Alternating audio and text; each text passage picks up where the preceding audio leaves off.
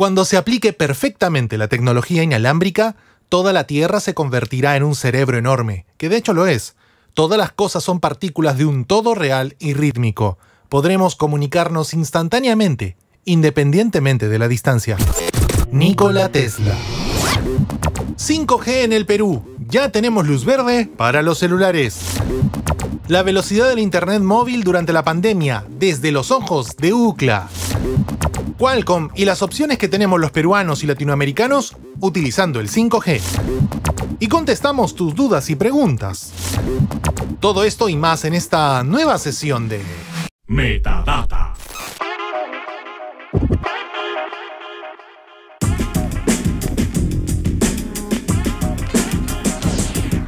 ¿Qué tal y bienvenido a Metadata, el podcast de tecnología de RPP Noticias? Soy Jesús Vélez y es una semana clave para las telecomunicaciones en el país.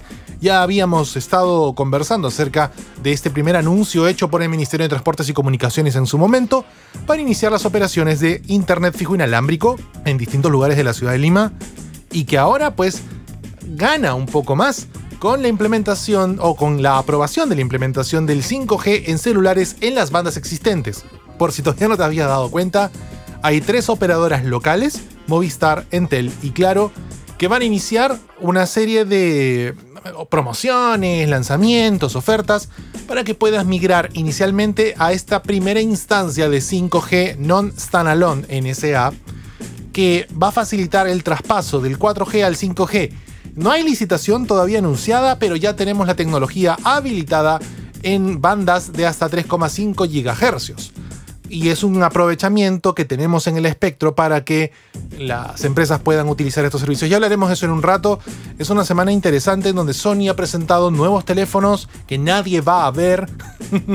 Por lo menos en este lado del mundo asumo que muy pocos, solo en los Estados Unidos de repente lanzaron la tercera edición del Xperia 1, Xperia 5 y Xperia 10, cada uno apuntando a un mercado muy distinto y bueno, Telegram parece que también está buscando independizarse de todo porque ha lanzado un tutorial de cómo instalar Telegram en Android sin necesitar del Google Play Store, que es algo muy sencillo para los que hemos instalado una APK, pero resulta muy raro de que Telegram comience a alentar las instalaciones por fuera. Es un detalle no menor.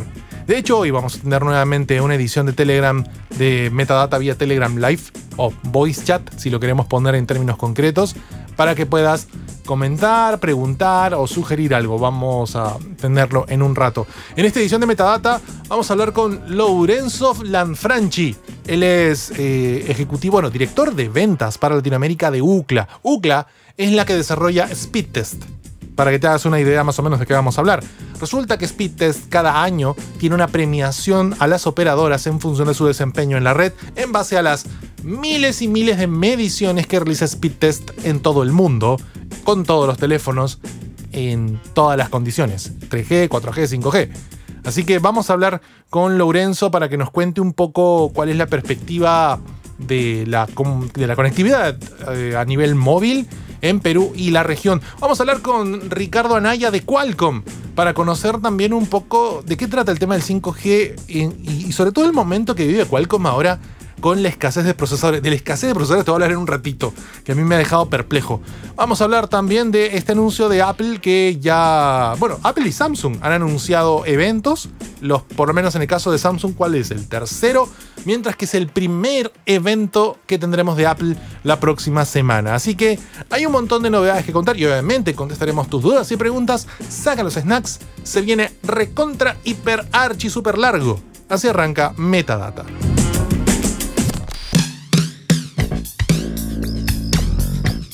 Antes de pasar a las noticias propiamente del sector tecnológico, hay un tema que hoy apareció, y hoy digo, me refiero a 14 de abril del 2021 a las 7 y 14 de la noche, mientras grabo este episodio que tú vas a escuchar en otro momento, para que tengas el contexto directamente.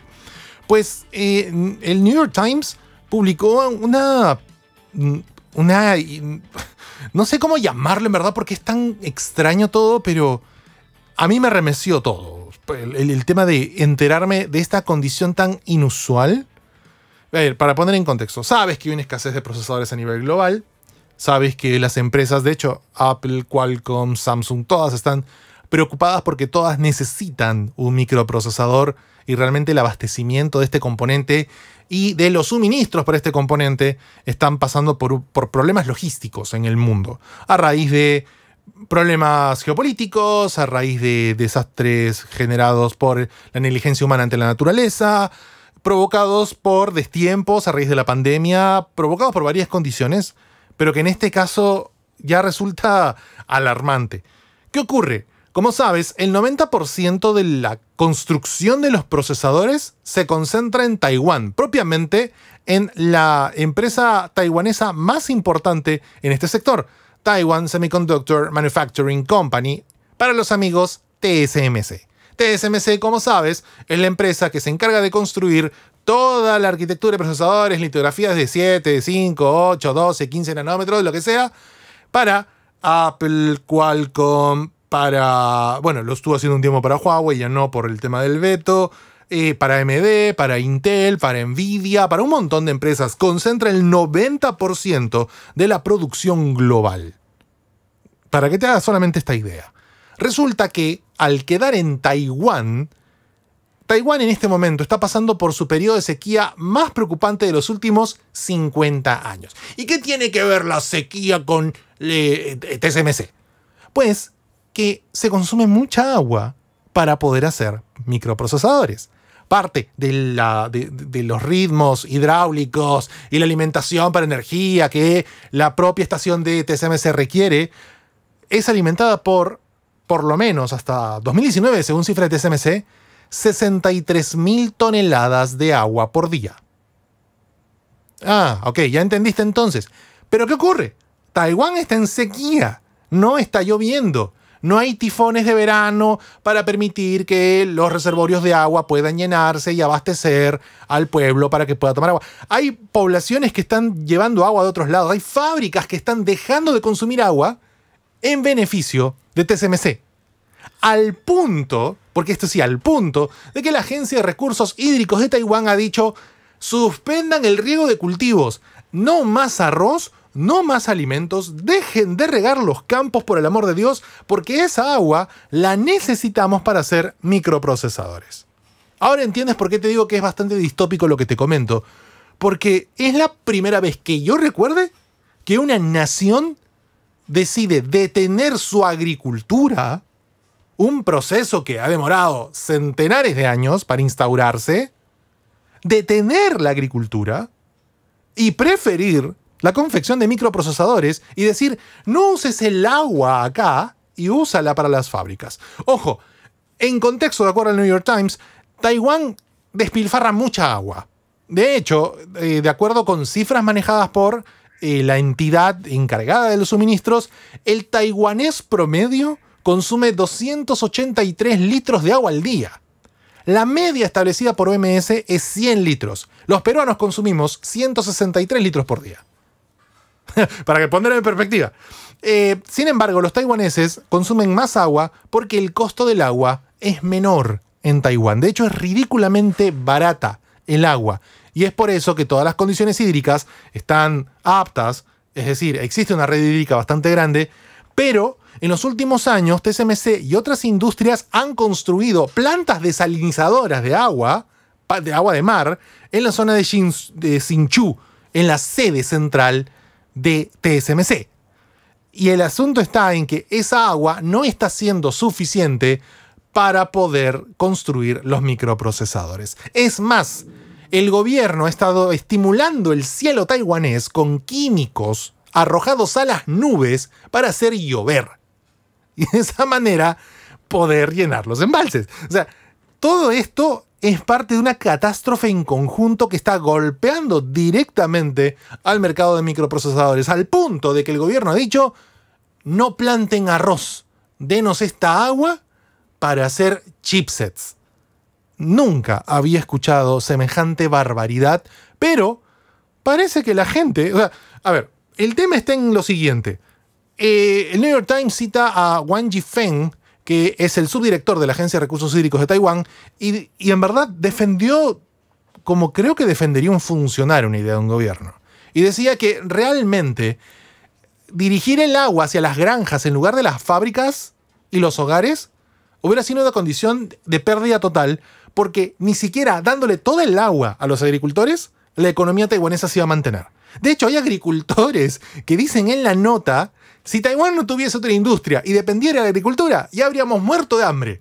Eso lo ha dicho un agricultor de arroz de 69 años, el señor Yang Kuei Chuan, citado en la nota de New York Times.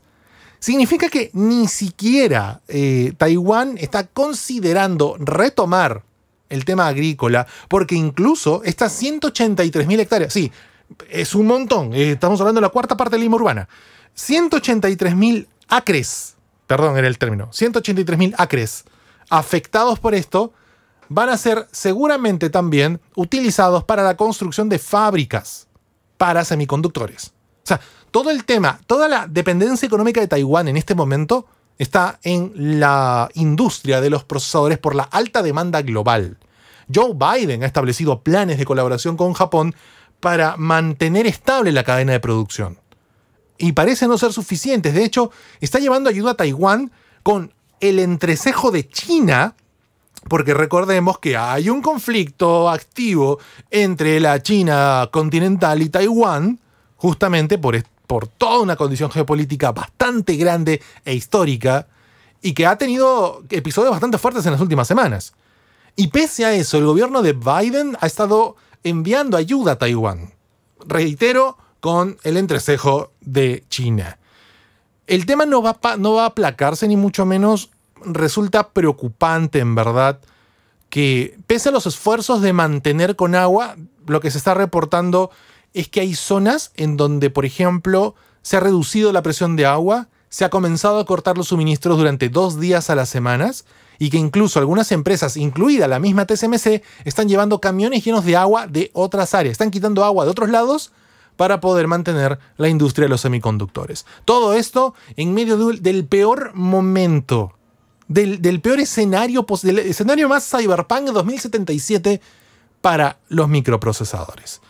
Y de hecho, la foto que hemos puesto en Newsgeek acerca de la presa Sengwen en, en Chiayi, Taiwán, evidencia claramente el enorme descenso de los niveles de agua.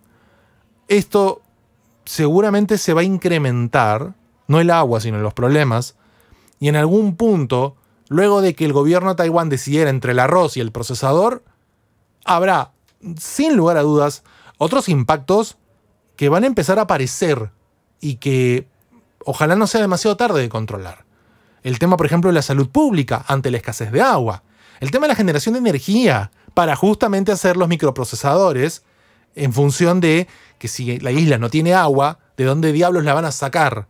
Y cómo van a generar energía sostenible para poder echar a andar la máquina que va a crecer exponencialmente en demanda.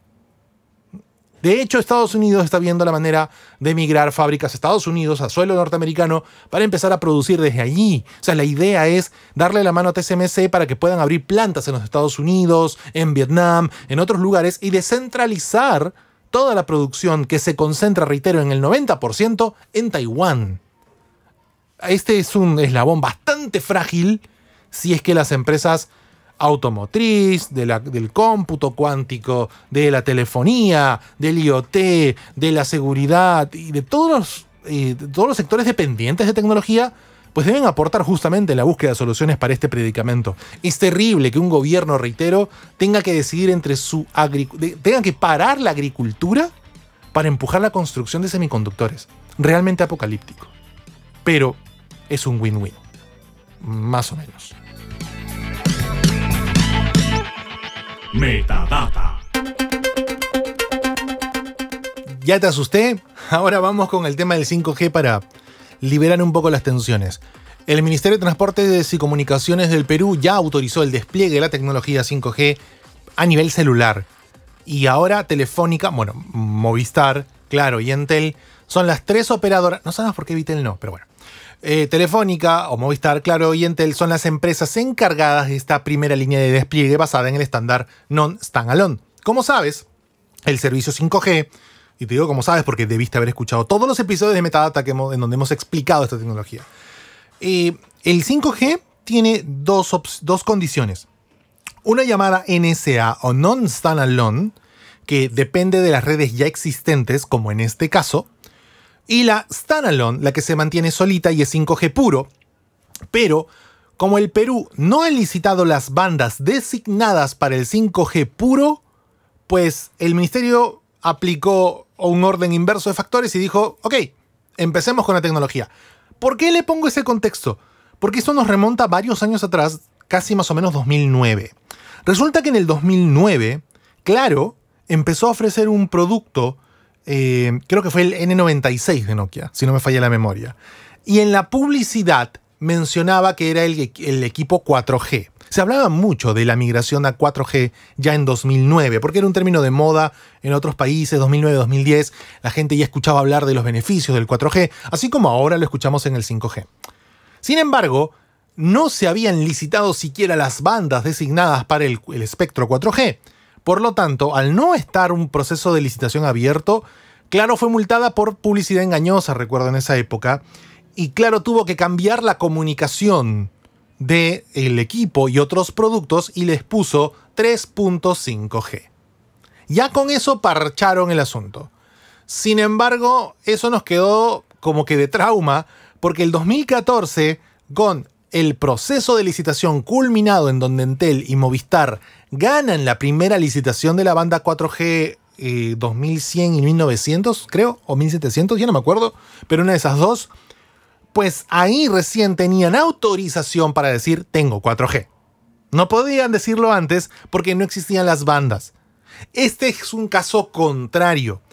Aquí al tener banda suficiente para operar con tecnología 5G, ojo, no es la óptima, pero es suficiente la 3.5 GHz, el Estado designa parte de ese espectro ya asignado a telecomunicaciones privadas para, sobre esa base, implementar la tecnología 5G. Recuerden que las licitaciones no, son, no, se tratan de las tecnologías, sino de las bandas. Significa que, a, pese a no tener la banda, tú puedes tener la tecnología trabajando. De hecho, 5G ha habido. El asunto es que no había planes comerciales. Es como comprarte un Tesla hoy para manejarlo en Sudamérica. Seguramente la infraestructura en carretera no está diseñada para un Tesla porque no hay conexiones permanentes, no hay cargadores de energía eléctrica en ningún lugar de esta parte del mundo, pero tú puedes tener un Tesla y nadie te lo va a prohibir. Sin embargo, no estaba acondicionado el, ambiente para que este auto rinda lo que debe rendir. Y es un poco lo que han hecho ahora. Tecnología 5G sobre bandas 2.1, 2.5 y 3.5 GHz. Bueno, desde 1.7 GHz significa que este espectro está asignado a este non-standalone. Y esto va a empezar a fomentar justamente los nuevos planes, las nuevas condiciones, posiblemente incluso eh, el tema vaya a migrar un poquito más rápido y acelerar el proceso de licitación del espectro de 26 GHz, por ejemplo, que se espera también como bandas mucho más altas para el tema del 5G o ya hablar de milimétricas, o hablar de sub 6, o sea, ya hablar de otro tipo de esquemas que podrían empezar a llegar conforme se habiliten las licitaciones. En este caso, tres operadoras, reitero, Vitel no me ha dicho absolutamente nada de por qué no está participando de esto, no, ni siquiera han emitido un comunicado. Tendré que llamarlos, pues, ¿no? Resulta que en este caso el alcance se va a ampliar a nivel nacional en función de la expansión comercial de la propuesta. Inicialmente la propuesta va entre Entel y Claro. Movistar ya ha dicho que ha recibido y todo lo demás, pero no han dado planes ni nada. ¿Cuál ha sido la jugada de las dos operadoras? La primera ha sido Entel. Bueno, la fue Claro, pero quiero ir primero con Entel. Eh, Entel propuso un plan de 159 soles 5G, con la posibilidad de usar dos equipos dentro del catálogo. Un S21 de Samsung y un Moto... no, un Redmi Note 9T. El 9T, como sabes, es 5G porque lleva el procesador Dimensity de MediaTek compatible con 5G. Así que todo bien. De hecho, en el caso de Claro, o sea, Entel dijo, hagamos un plan nuevo. Perfecto, lo subieron al CIRT y todo lo demás y ya está habilitado. Lo de Claro ha sido muy distinto. Y creo que ha sido hasta más inteligente. Lo que ha hecho Claro es, a todos los usuarios 4G les ha activado el 5G. Pero, si tienes un equipo 5G, recién vas a poder usarlo. Si no tienes un equipo 5G, normal. Tienes 4G. No pasa ni pinci ni de. Vas a seguir usándolo. Pero quien tenga acceso a un equipo 5G ya puede tener en su teléfono el loguito 5G para poder colgarse de esa nueva tecnología. Ya probé esto. de hecho, eh, no sé si los teléfonos son el problema, o yo, mi energía, pero no he tenido cuotas altas, ¿eh? No he superado los 30 y eso, esos reportes se los he mandado, claro.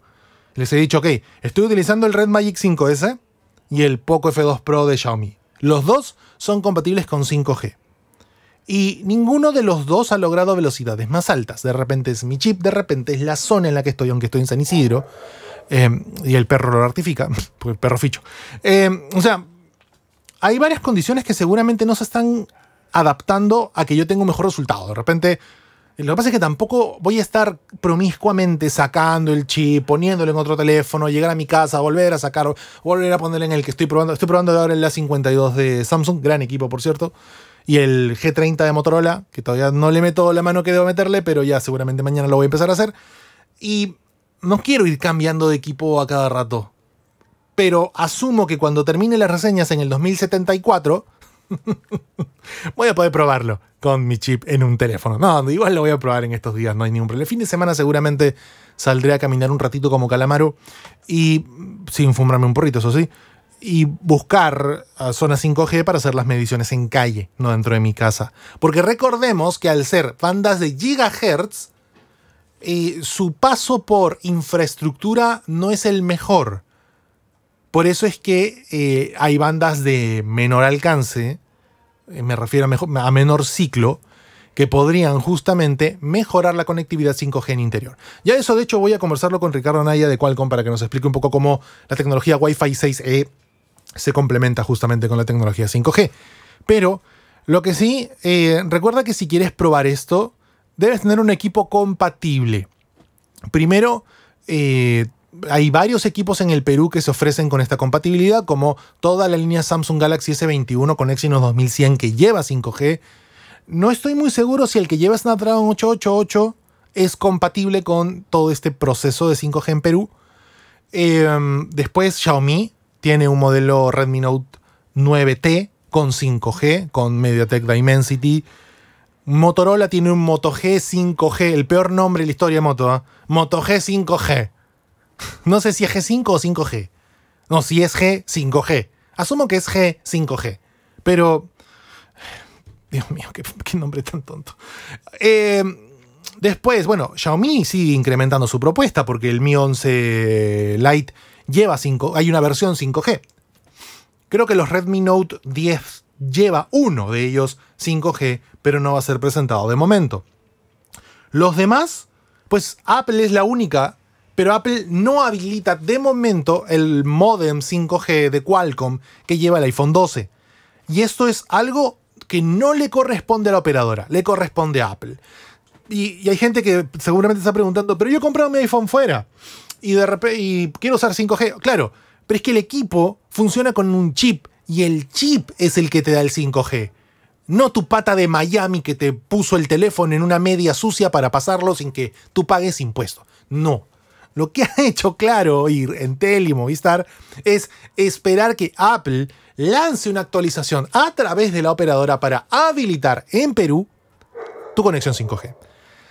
Con eso, o sea, no es el Wi, no es Wi-Fi es 5G. Y si el chip no es compatible con esa tecnología, Apple no tiene por qué liberarla. Porque, de acuerdo a lo que siempre maneja Apple, quieren darte la mejor experiencia. Y si te champean la experiencia, si te meten a la primera cualquier cosa, no es la experiencia que Apple quiere. Por eso es que tienen que esperar. Posiblemente junio sea el mes en que por fin se libere el modem 5G. Y para junio ya todo este proceso debe estar un poco más maduro, debe haber más zonas, debe estar más extendido en el territorio nacional, debe estar más estable, debe estar mejor probada, mejor ajustada y pues ya los choros sabrán qué teléfono robar. Así que considera todo lo que acabas de escuchar para tener en cuenta si quieres probar. Ojo, necesitas, eso sí, en un teléfono 5G que tengas actualmente y que has tenido que cambiar a 4G en el selector de datos de Android, volver a ponerlo en 5G. No es automático, tienes que activarlo manualmente porque por default estos equipos activan el 5G y al no encontrar 5G, cogen 4G pero constantemente están buscando red 5G y eso drena la batería. Por eso es importante cuando tengas un equipo 5G que no tiene ahorita servicio 5G, le apagues el 5G y le pongas en 4G por defecto. Pero ahora no, ahora ya lo puedes prender. Y sí, funciona, lo he visto. En los dos teléfonos funciona sin problema. Entiendo que voy a tener equipos de prueba con 5G, eh, con planes 5G puros, de operadora, de prueba. No es que vaya a comprar yo. Usualmente pasa eso, chicos. a nosotros nos dan equipos para probar, pero no solamente para probar el equipo, sino también para probar la conectividad.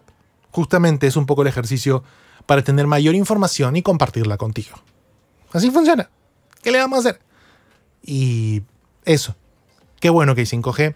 No el que queremos todavía, pero vamos despacito. Por lo menos hasta que liciten el otro año. Metadata. Estás escuchando Metadata, el podcast de tecnología de RPP Noticias y gran parte de nuestra dependencia a Internet pasa por saber el estado de esta conexión. Cada cierto tiempo es bueno revisar cómo va nuestro servicio en temas de descarga y subida de información, de tal manera que podamos no solamente conocer a ciencia cierta si el servicio contratado va a buen ritmo, sino además saber si de repente los parámetros que tenemos casi siempre coinciden con el plan contratado o con las expectativas que tenemos y en este último periodo, en donde hemos dependido demasiado de Internet para conectarnos con clases a distancia, con nuestro propio trabajo, hay herramientas muy buenas para hacerlo. En NewsGeek, de hecho, utilizamos mucho Speedtest. Creo que todos usamos speedtest.net, este desarrollo de UCLA, para medir la calidad de nuestro servicio. Hay otros, eh, de hecho, Netflix tiene el propio, pero yo siempre he confiado en Speedtest. Siempre le instalo por defecto.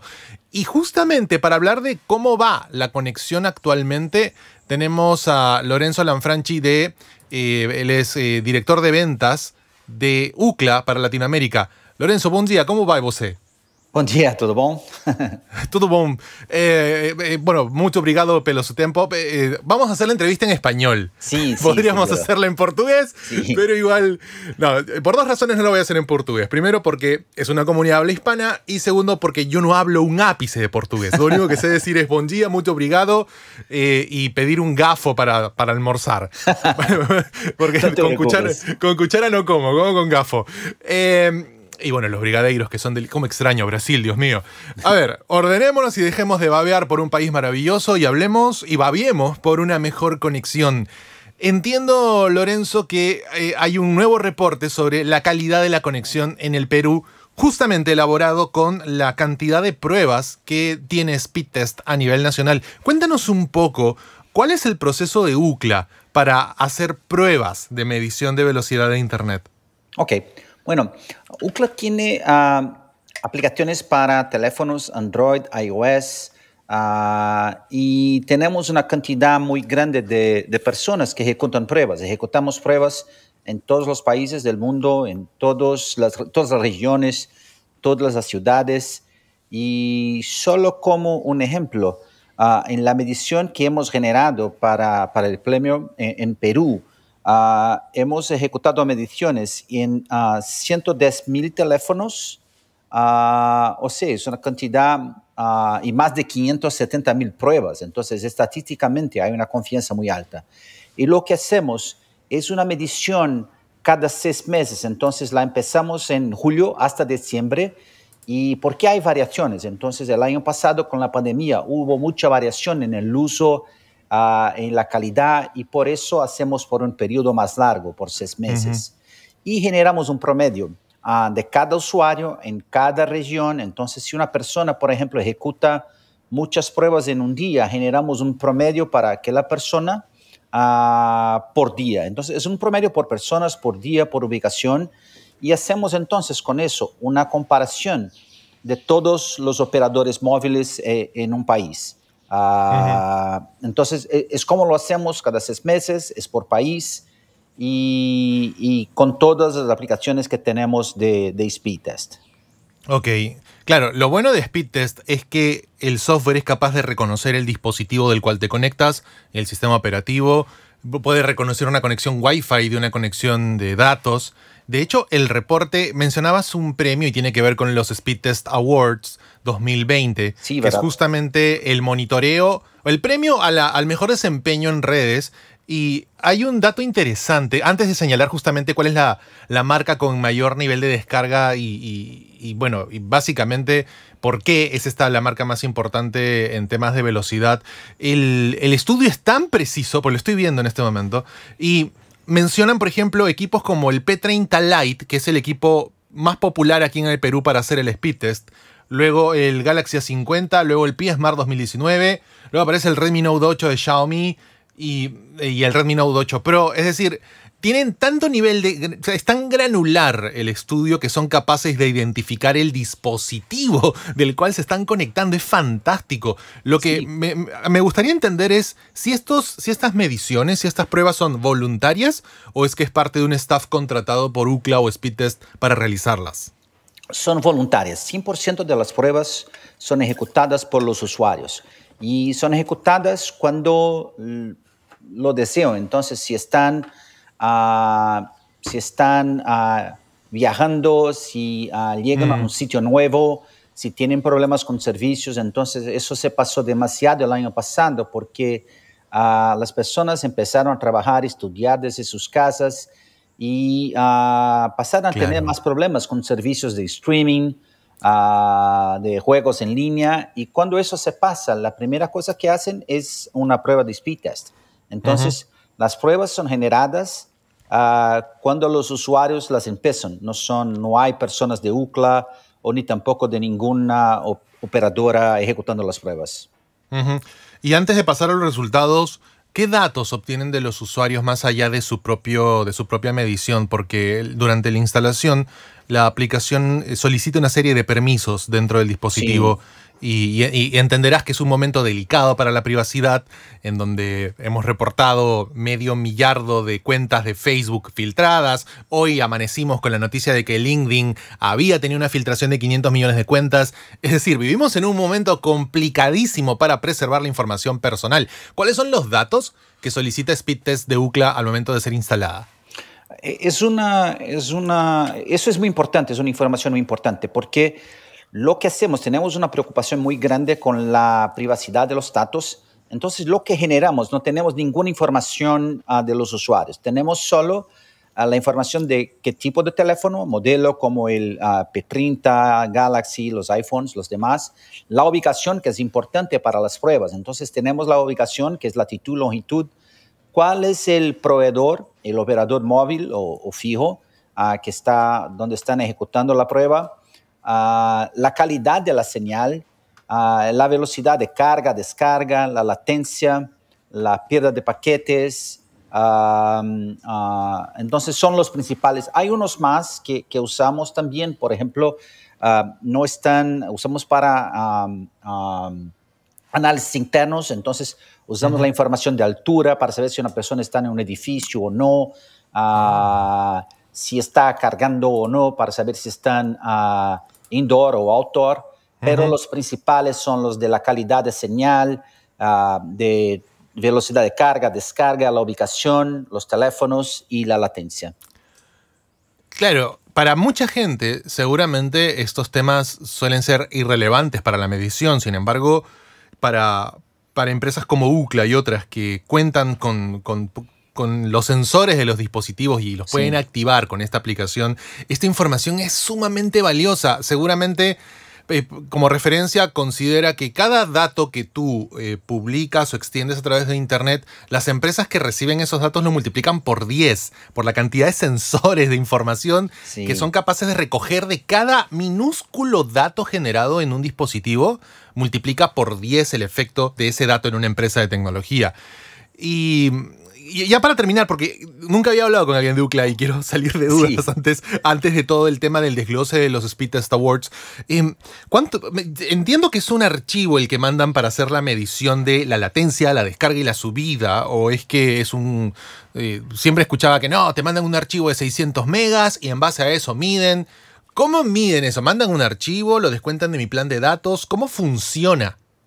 Sí, no, hemos cambiado. Lo que hacemos eh, es como ah, ah, abrimos como cuatro sesiones y enviamos la máxima cantidad de datos posible hasta obtener la capacidad máxima de la conexión. Entonces, ah, cuando, y, si por ejemplo por un tiempo como 10 segundos, 5 segundos, vemos que está estable, sabemos que hemos obtenido la capacidad máxima de la conexión. Entonces, no, no hay un límite, entonces buscamos siempre la capacidad máxima de la conexión y eso es importante porque los cambios con 4.5G, con 5G, que ya está empezando en Perú, eh, es importante, no podemos mantener un tamaño fijo de archivos, pero uh, usamos la cantidad que eh, es necesaria para obtener la capacidad máxima de la conexión. Ya, nos queda claro entonces que hay una serie de procesos que han venido cambiando. Yo, de hecho, simplemente por, por morbo estoy viendo cuánta velocidad tengo en este momento. Mientras hago la entrevista, estoy probando mi velocidad tanto en, teléfono como en... Sí, justo, te pide administrar llamadas telefónicas, pide administrar la ubicación del dispositivo y desde ahí arranca la medición. Y también eh, sale una aclaración diciendo que se mide la cobertura móvil, la calidad de los datos, es posible que los datos se compartan con otros operadores para mejorar el tema de las redes. O sea, hay una serie de avisos que deberías leer antes de instalar la aplicación o durante la instalación. Uy, en mi caso, sí, no es una empresa de telefonía, no es una operadora móvil, pero sí, me está midiendo bastante bien la red. Ah, a ver, entonces, ya con, esta, con este antecedente, el año pasado habíamos tenido un, buen ranking también. El año pasado, hasta el tercer eh, trimestre y cuatrimestre, hay, una operadora eh, enrumada en esto. Por favor, compártenos, eh, Lorenzo, cuál es el resultado, cuál es, quién se lleva el Speed Test Award 2020 en temas de conectividad en el Perú. Sí, bueno, claro, sigue como ah, lo más rápido con ah, el premio Speed Test Awards si me acuerdo bien, es el tercer, tercer año que Claro ah, obtiene eh, eh, el award y ah, han logrado obtener un promedio de 26.54 ah, megabits por segundo de descarga y 10.11 megabits por segundo de carga. Entonces, han mantenido el liderazgo. sin embargo, ha sido un ya hablando de la, no solo de Perú, pero también ah, de toda la región, lo que se pasó en la región es que muchos países tuvieron problemas, entonces la calidad cayó. Si se hace una comparación con el mismo periodo del año pasado, van a ver que el promedio de Perú como un todo cayó un poquito y eso se pasó en muchos países. Pero la recuperación en Perú ha sido mejor. Por ejemplo, hubo países como Colombia, uh, Chile o Argentina que la, el promedio de velocidad cayó y tardó más para crecer. Ah, ah, entonces, ah, en Perú no, en diciembre lograron regresar a los niveles que tenían en, en enero, febrero, antes de la pandemia. Ok, entonces, claro, destaca como la empresa con el mayor, la mayor velocidad de descarga, eh, en, todo el país. De hecho, eh, entiendo que Speed Test no está, no se hacen evaluaciones o mediciones en todo el Perú, sino que concentran básicamente en este estudio la, mayor densidad posible en ciertas zonas. ¿no? Creo que Trujillo y Lima son seguramente los bastiones más importantes para la medición. Sí, y claro también logró obtener la mejor velocidad en los dos, en Lima y también Trujillo. Entonces, eh, ahora, hay otro tema que tiene que ver también con un elemento que se ha vuelto más relevante y que, y que los usuarios son más conscientes de la necesidad de esto y, es la subida. Sí. La, en este caso, hablamos concretamente de Internet móvil como servicio. Sí. O sea, no hablamos de un Internet fijo de casa, Internet fijo alámbrico, sino que hablamos de Internet móvil. Y en ese caso, la subida de Claro eh, no es la misma o no es la, a la misma velocidad que los otros operadores, según entiendo. No, no. Ah, es, ah, mejoró, pero ah, está un poco bajo, de, es, el segundo en, en, subida, pero lo que usamos es, la comparación es basada en Speed Score, que llamamos. Es una comparación que lleva en cuenta la, la descarga y la subida, los dos. Entonces usamos como un promedio de los dos la descarga es más importante. Entonces, como 90% ah, es basado del speed score, es basado en la descarga, 10% en la subida. Entonces, es importante pero en la mayoría de los servicios uh, sigue, la descarga sigue siendo como lo más importante. Entonces, por eso él uh, tiene un peso mayor en la evaluación. Ok, se queda clarísimo entonces que evidentemente por el peso protagónico de la descarga, porque lo que más hacemos en Internet Sí. es descargar contenido, es que se vuelve más relevante este score de descarga en el tema del el premio. Y, y el tema de la latencia pues se ha vuelto relevante e importante también, según entiendo, el, el promedio en Perú sigue siendo de 35 milisegundos. Sí. Pese a que eh, pues hay operadoras que empiezan a empujar de otra manera este concepto de latencia que para mucha gente sigue siendo abstracto, pero que es realmente necesario cuando uno requiere acciones rápidas en el servidor. Sí. Igual, eh, eh, la tendencia es a seguir reduciendo este tiempo de latencia. Sí, verdad. Y bueno, ah, hay servicios como los de mensajería WhatsApp, que es muy importante, en juegos en línea, que creció demasiado el uso de, de servicios de juegos en línea con la pandemia, con las personas ah, se quedando más tiempo en sus casas. Entonces, latencia es muy importante, que es el retraso en la red. Ah, y lo que se pasó en, en- en Perú, como en todo, es que Claro tiene 35 milisegundos, que es, ah, que es el mismo promedio de Perú como en todo. Ah, y lo que se pasó también ha sido similar con las velocidades. La latencia creció cuando empezó la pandemia y Mm. después cayó unas, una vez más. Pero si se hace la comparación del año pasado, el promedio de, ah, de Perú era 39 milisegundos y hoy es 35. Entonces ah, hubo una mejoría en la latencia más fuerte que eh, en las velocidades. Vamos a publicar igual nosotros el reporte completo de, de los, del Speed Score obtenido por, por UCLA y con todos los eh, la, la métrica de las cuatro operadoras locales. Eh, como, como bien señala Lorenzo, claro, es la empresa con mayor puntaje en el Speed Score, sobre todo en temas de descarga. Luego, eh, muy cerca están Movistar y Entel entre ellas. Y la cuarta es Vitel. No se incluyen operadoras virtuales porque están soportadas justamente en infraestructura de operadoras eh, fijas o operadoras comerciales más grandes. Sí. Y además, pues el plan de, evaluación, según hay en el mapa de pruebas realizadas, abarca toda la costa del Perú, gran parte de la sierra y puntos muy aislados de la selva en donde evidentemente el nivel de conectividad no es tan alto. Pero me gustaría, Lorenzo, que le cuentes a la audiencia qué necesita un usuario promedio, qué consideraciones debería tomar al momento de realizar una prueba de speed test para obtener el resultado más fiel al que está buscando. Ah, lo mejor es ah, usar la red móvil, porque hay veces que la persona está ah, ah, dentro de su casa y está en Wi-Fi. Entonces, lo mejor para saber la, la calidad es estar outdoor o entonces cercano a una, una ventanilla, pero y hacer más de una prueba. Es siempre importante hacer más de una prueba, porque hay veces que hay interferencia.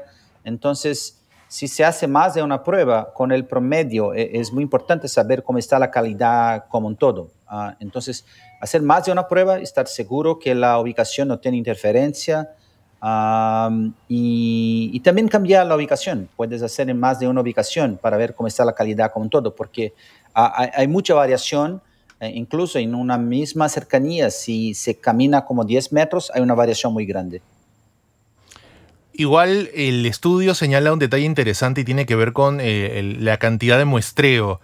Eh, por ejemplo, si, si no me falla eh, el ojo analítico, Claro tuvo 147.269 pruebas a nivel nacional, Sí, mientras que Movistar tiene 208.000, eh, Entel tiene 118.000 y Vitel tiene 97.000. Hablamos de un promedio de cercano a los 100.000, pues es un muestreo no solamente interesante, sino que también el eh, eh, mejor parametrado, ¿no? Porque tienes una muestra amplia, ¿no? No se trata de 100 personas, 150 personas, no, hablamos de un grueso de entre 100.000 a 200.000.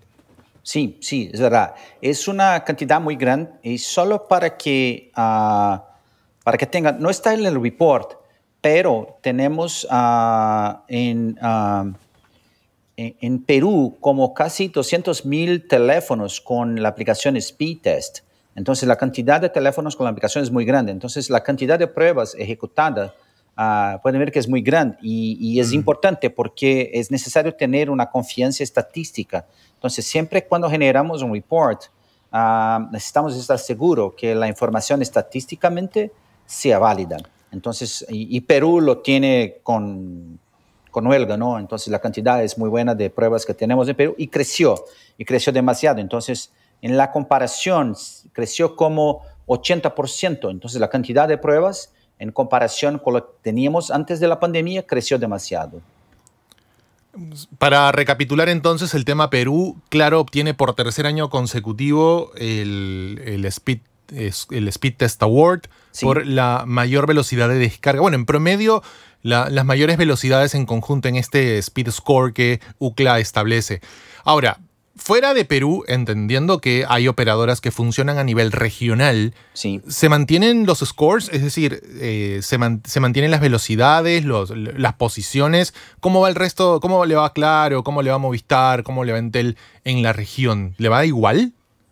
No hay variación. Entonces hay una variación muy grande en cada país. UCLA tiene, ah, hay una página que llamamos Speed Test Index, que ah, publicamos mensualmente ah, los resultados de cada uno de los países. Entonces hay una variación. En lo que se pasa ahora, en los países, por ejemplo, que, que ya tienen 5G, la velocidad es más alta, por supuesto, ¿no?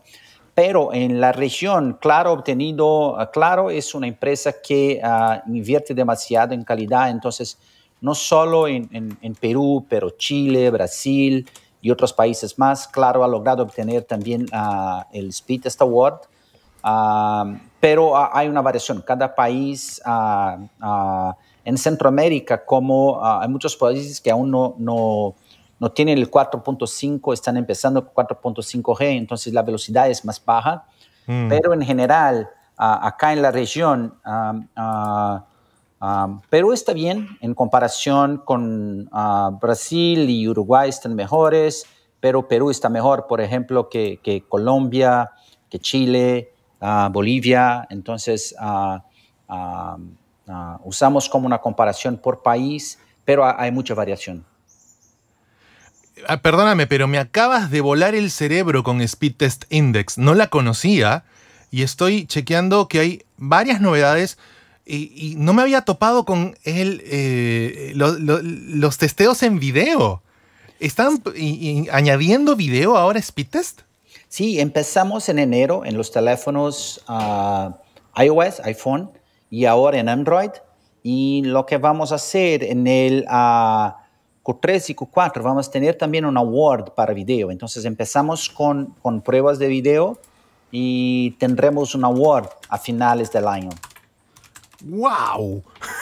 no lo sabía. De hecho, eh, le estoy contando a mi equipo en este momento que, estoy chequeando esto. Y además, este Speed Test Global Index nos cuenta un poco en la fotografía del momento a febrero del 2021 que la velocidad global promedio es de 46,94 megabits por segundo de descarga, 12,49 megabits de subida y 37 milisegundos de latencia. O sea, estamos bien.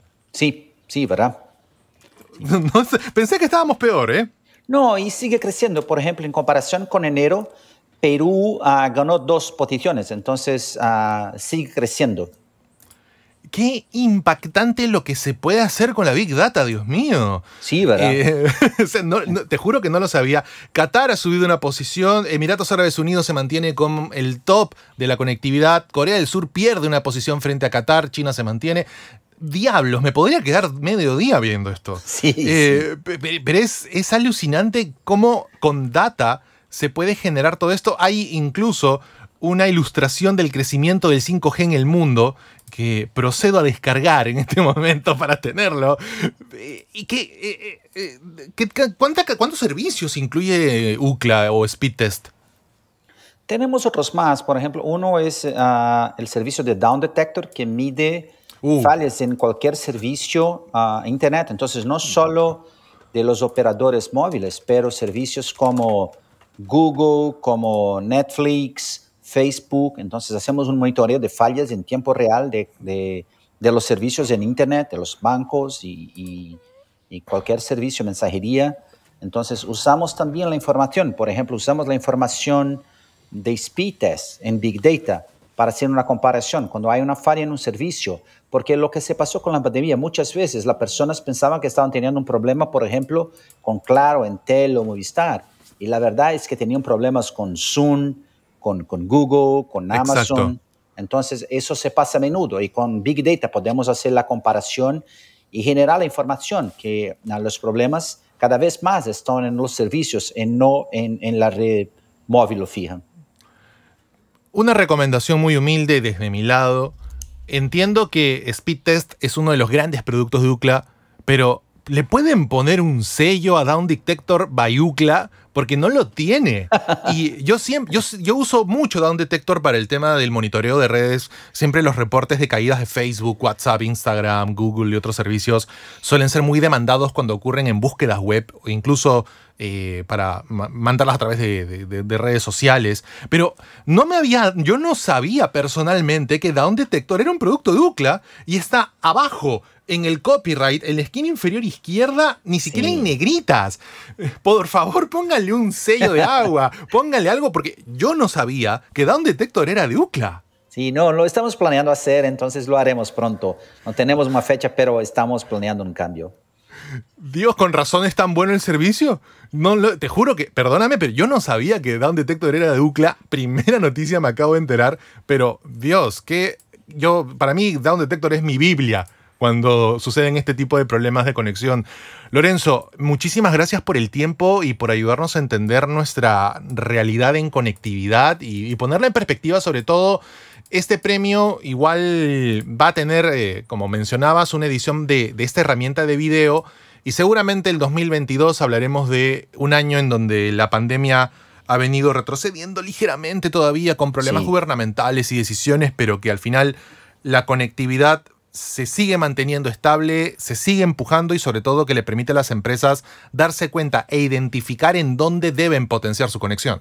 Sí, no, gracias a ti Jesús y felicitaciones a Claro, porque es muy difícil obtener el, el- premio Speed Test Awards por, por tres años como logró obtener Claro. Entonces, felicitaciones a Claro y ah, espero que en la próxima charla yo pueda compartir más información como ah, los premios de video y otros más que estamos planeando. Estaremos muy atentos, Lorenzo. Mucho obrigado. Obrigado, gracias. Metadata.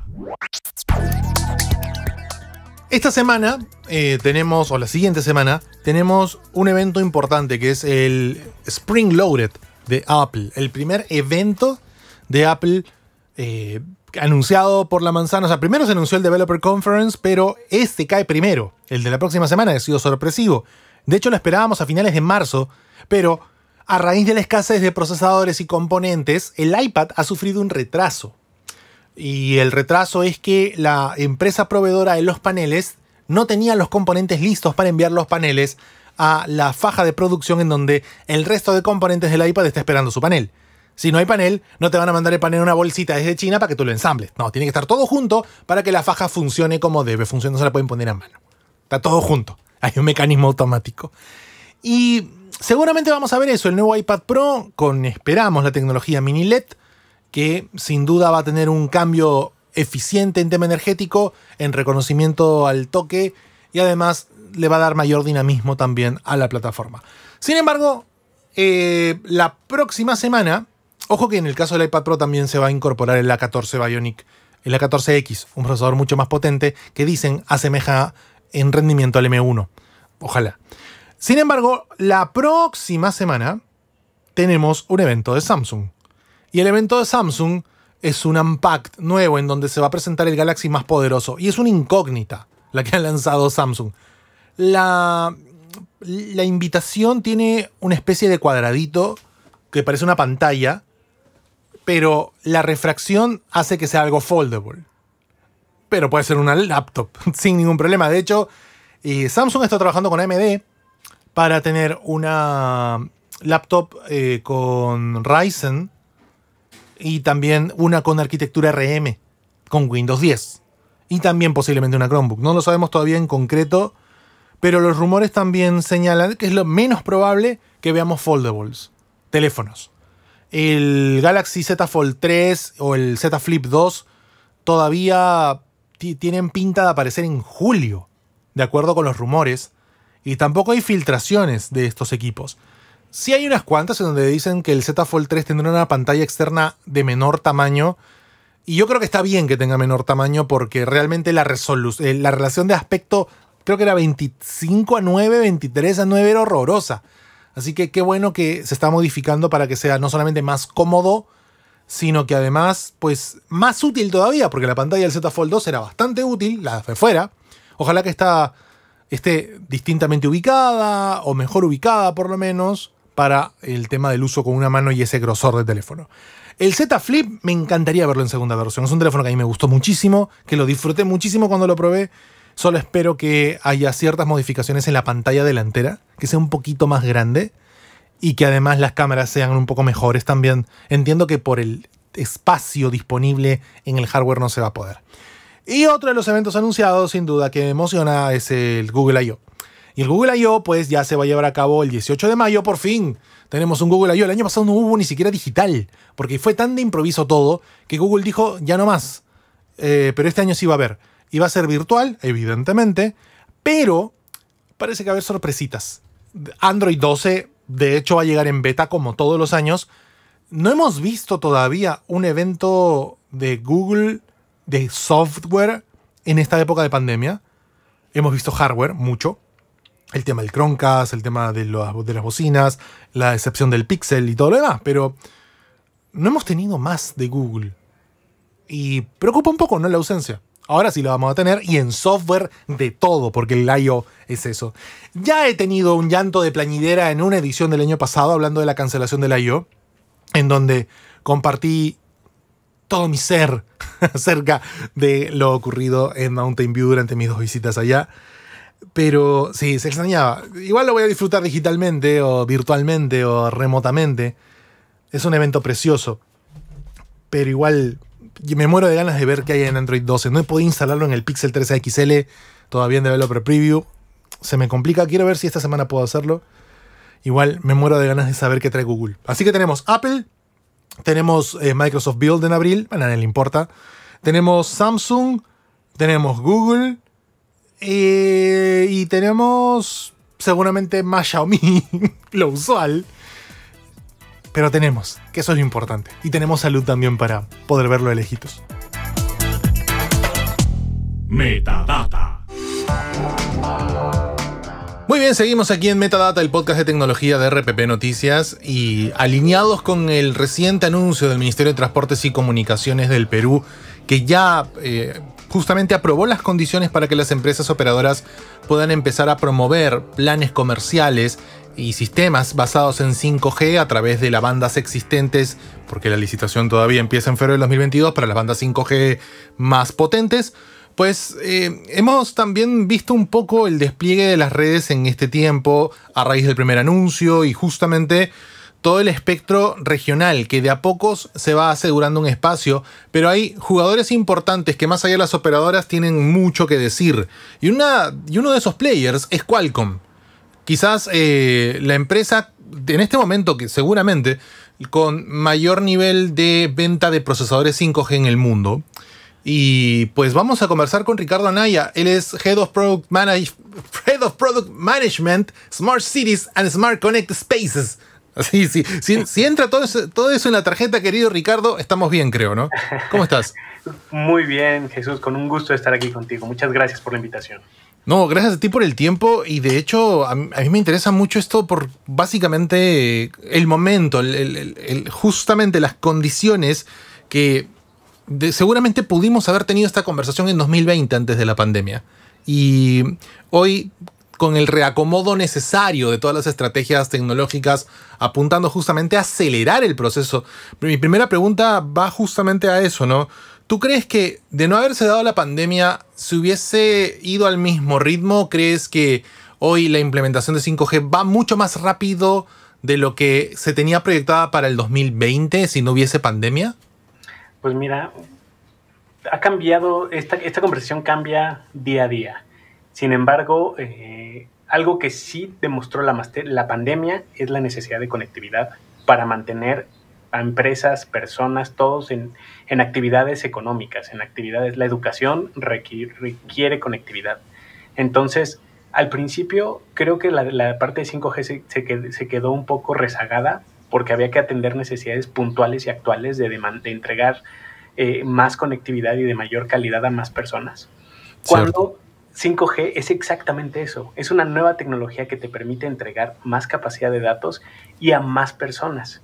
Entonces, eh, ahora están volteando a ver de que, bueno, sí es necesario una nueva, una nueva generación de red para entregar nuevos servicios, para entregar, cubrir ese gap de, conectividad, para poner, entregar conexiones, y no nada más conexiones de acceso a Internet a cualquiera, sino conexiones de alta capacidad que tengan las características para atender educación a distancia, transmisión de llamadas, que trabajes de manera remota, que tengas colaboración eh, con video de alta calidad, que no tengas retrasos, que, que el audio pase de buena calidad, que no se te entrecorte, que se entienda perfectamente, que puedas tener la suficiente conectividad para tener una colaboración de trabajo, de compartir documentos, editar un mismo documento, documentos de más alta calidad, empezar a tener tecnologías de realidades virtuales aumentadas, empezar a hablar de vehículos autónomos, eh, de cómputo ya conectado permanentemente a redes. Todas estas oportunidades vienen de la mano de 5G. Entonces,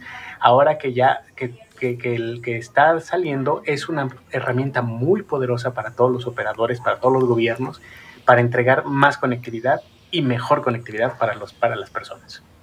Lo que pasa también, eh, Ricardo, es que todo este proceso ha resultado seguramente un poco abrumador para mucha gente, en el sentido de que siempre un salto tecnológico implica un cambio de paradigma, implica también un presupuesto. Recordamos muchos el, sufrimiento de mucha gente que pudo asegurar un teléfono 3G cuando empezó a publicitarse el 4G en Latinoamérica que pues implica un poco eso, ¿no? Sin embargo, hoy hay un overlapping distinto en tecnologías. Hoy, de hecho, el anuncio del gobierno del Perú ha mencionado que pese a no tener bandas licitadas, con el espectro asignado determinado para 5G a futuro, ya se puede utilizar la tecnología 5G en el espectro de hasta 3,5 GHz. Es decir, que hoy, a diferencia de esa licitación, no se priorizó la banda, sino que se prioriza la tecnología. Y la preocupación de mucha gente antes fue, tengo que comprar un teléfono nuevo. Entiendo que con esto la gente va a poder utilizar un servicio 5G en función de que el equipo sea compatible, pero ya con una estructura constituida hoy, armada hoy, que es una ventaja. Sí, no, y el, movimiento del gobierno es algo que, de que aplaudirse y felicitarse por dos cosas muy importantes. La banda de 3.5 es la banda con más dispositivos a nivel mundial. Es la banda que más se ha utilizado. Entonces estás llegando a una, opción de escala. Es una banda muy común, la utiliza Canadá, Europa, Asia, China. Entonces, eso, eso es un punto muy bueno. Entonces, y que los operadores de Perú ya tienen acceso a pedazos de esa banda. Entonces, quiere decir que eh, primero nosotros como Qualcomm, desde atrás de esto ya tenemos, ya vamos en la cuarta generación de modems de 5G.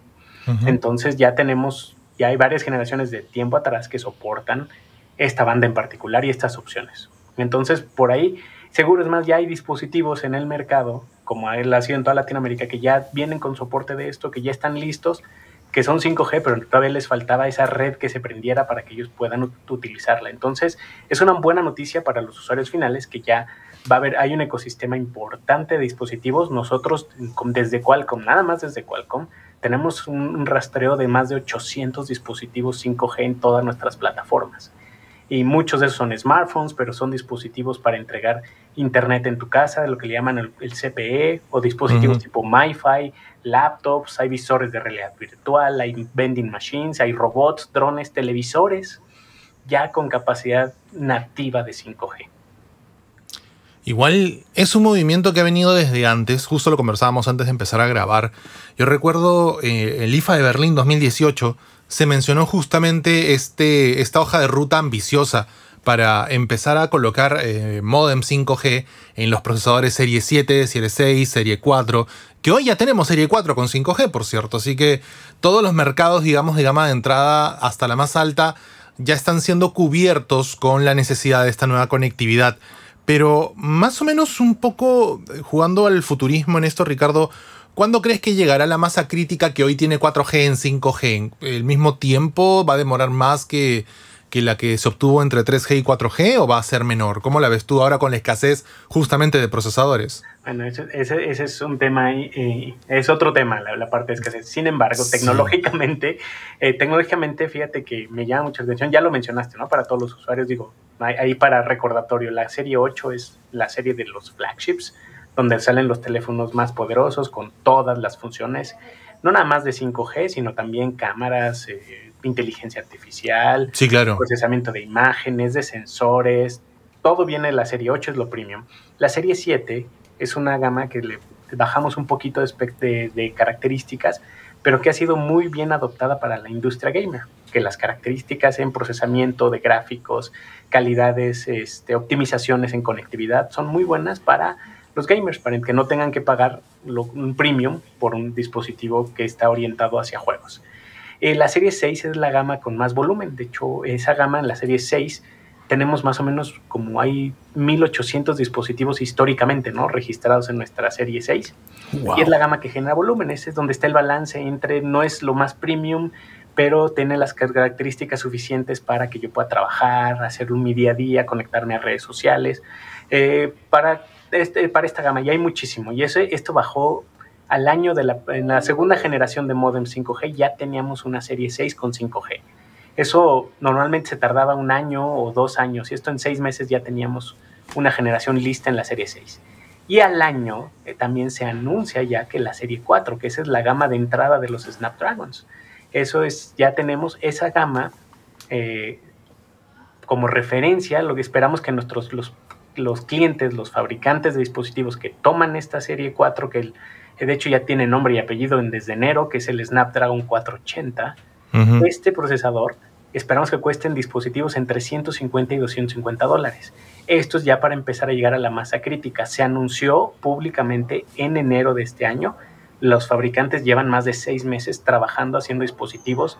De esto tenemos registro que hay al menos 300 dispositivos en desarrollo basados en esta plataforma, lo cual es una gran cantidad de dispositivos eh, para, para esta gama que permite desarrollar muchísimo potencial de 5G y también trayendo funcionalidades que tradicionalmente eran de la gama premium, por ejemplo, algún, el, el, el, más rápido de todos que también se optimiza para gaming, tiene la capacidad de tener nuestro, nuestras funciones de lead gaming, las que, que permiten eh, mejoras en conectividad, en procesamiento gráfico, aceleración de, de, sensores para que, los, para que los que estén jugando lo aprovechen muy bien y también, por, otra es que tiene la parte, un triple sensor de imágenes para que puedas tener fotografía de muy alta calidad en una gama accesible.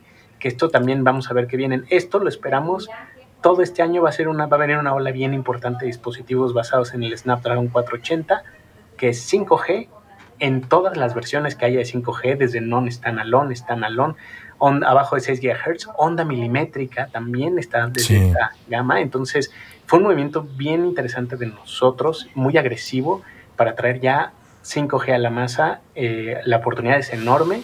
En ese se habla de que hay la oportunidad de esa gama en los próximos 5 años son aproximadamente 3.500 millones de dispositivos. Es lo que es lo que se está esperando en los, siguientes 5 años. Entonces son números bien importantes eh, vaya, es casi la mitad de la población si lo pones en perspectiva. Sí, más o menos. Digamos que es un poco también la, relación entre los conectados a Internet, ¿no? Que es la mitad de la población también. Sí, sí, ¿no? Y, que, y, la que viene, ¿no? Porque falta mucha población y ahora todos tienen que, eh, como, como, como nueva generación, sí, eso también es, es como para usuarios hay que estar muy al pendiente.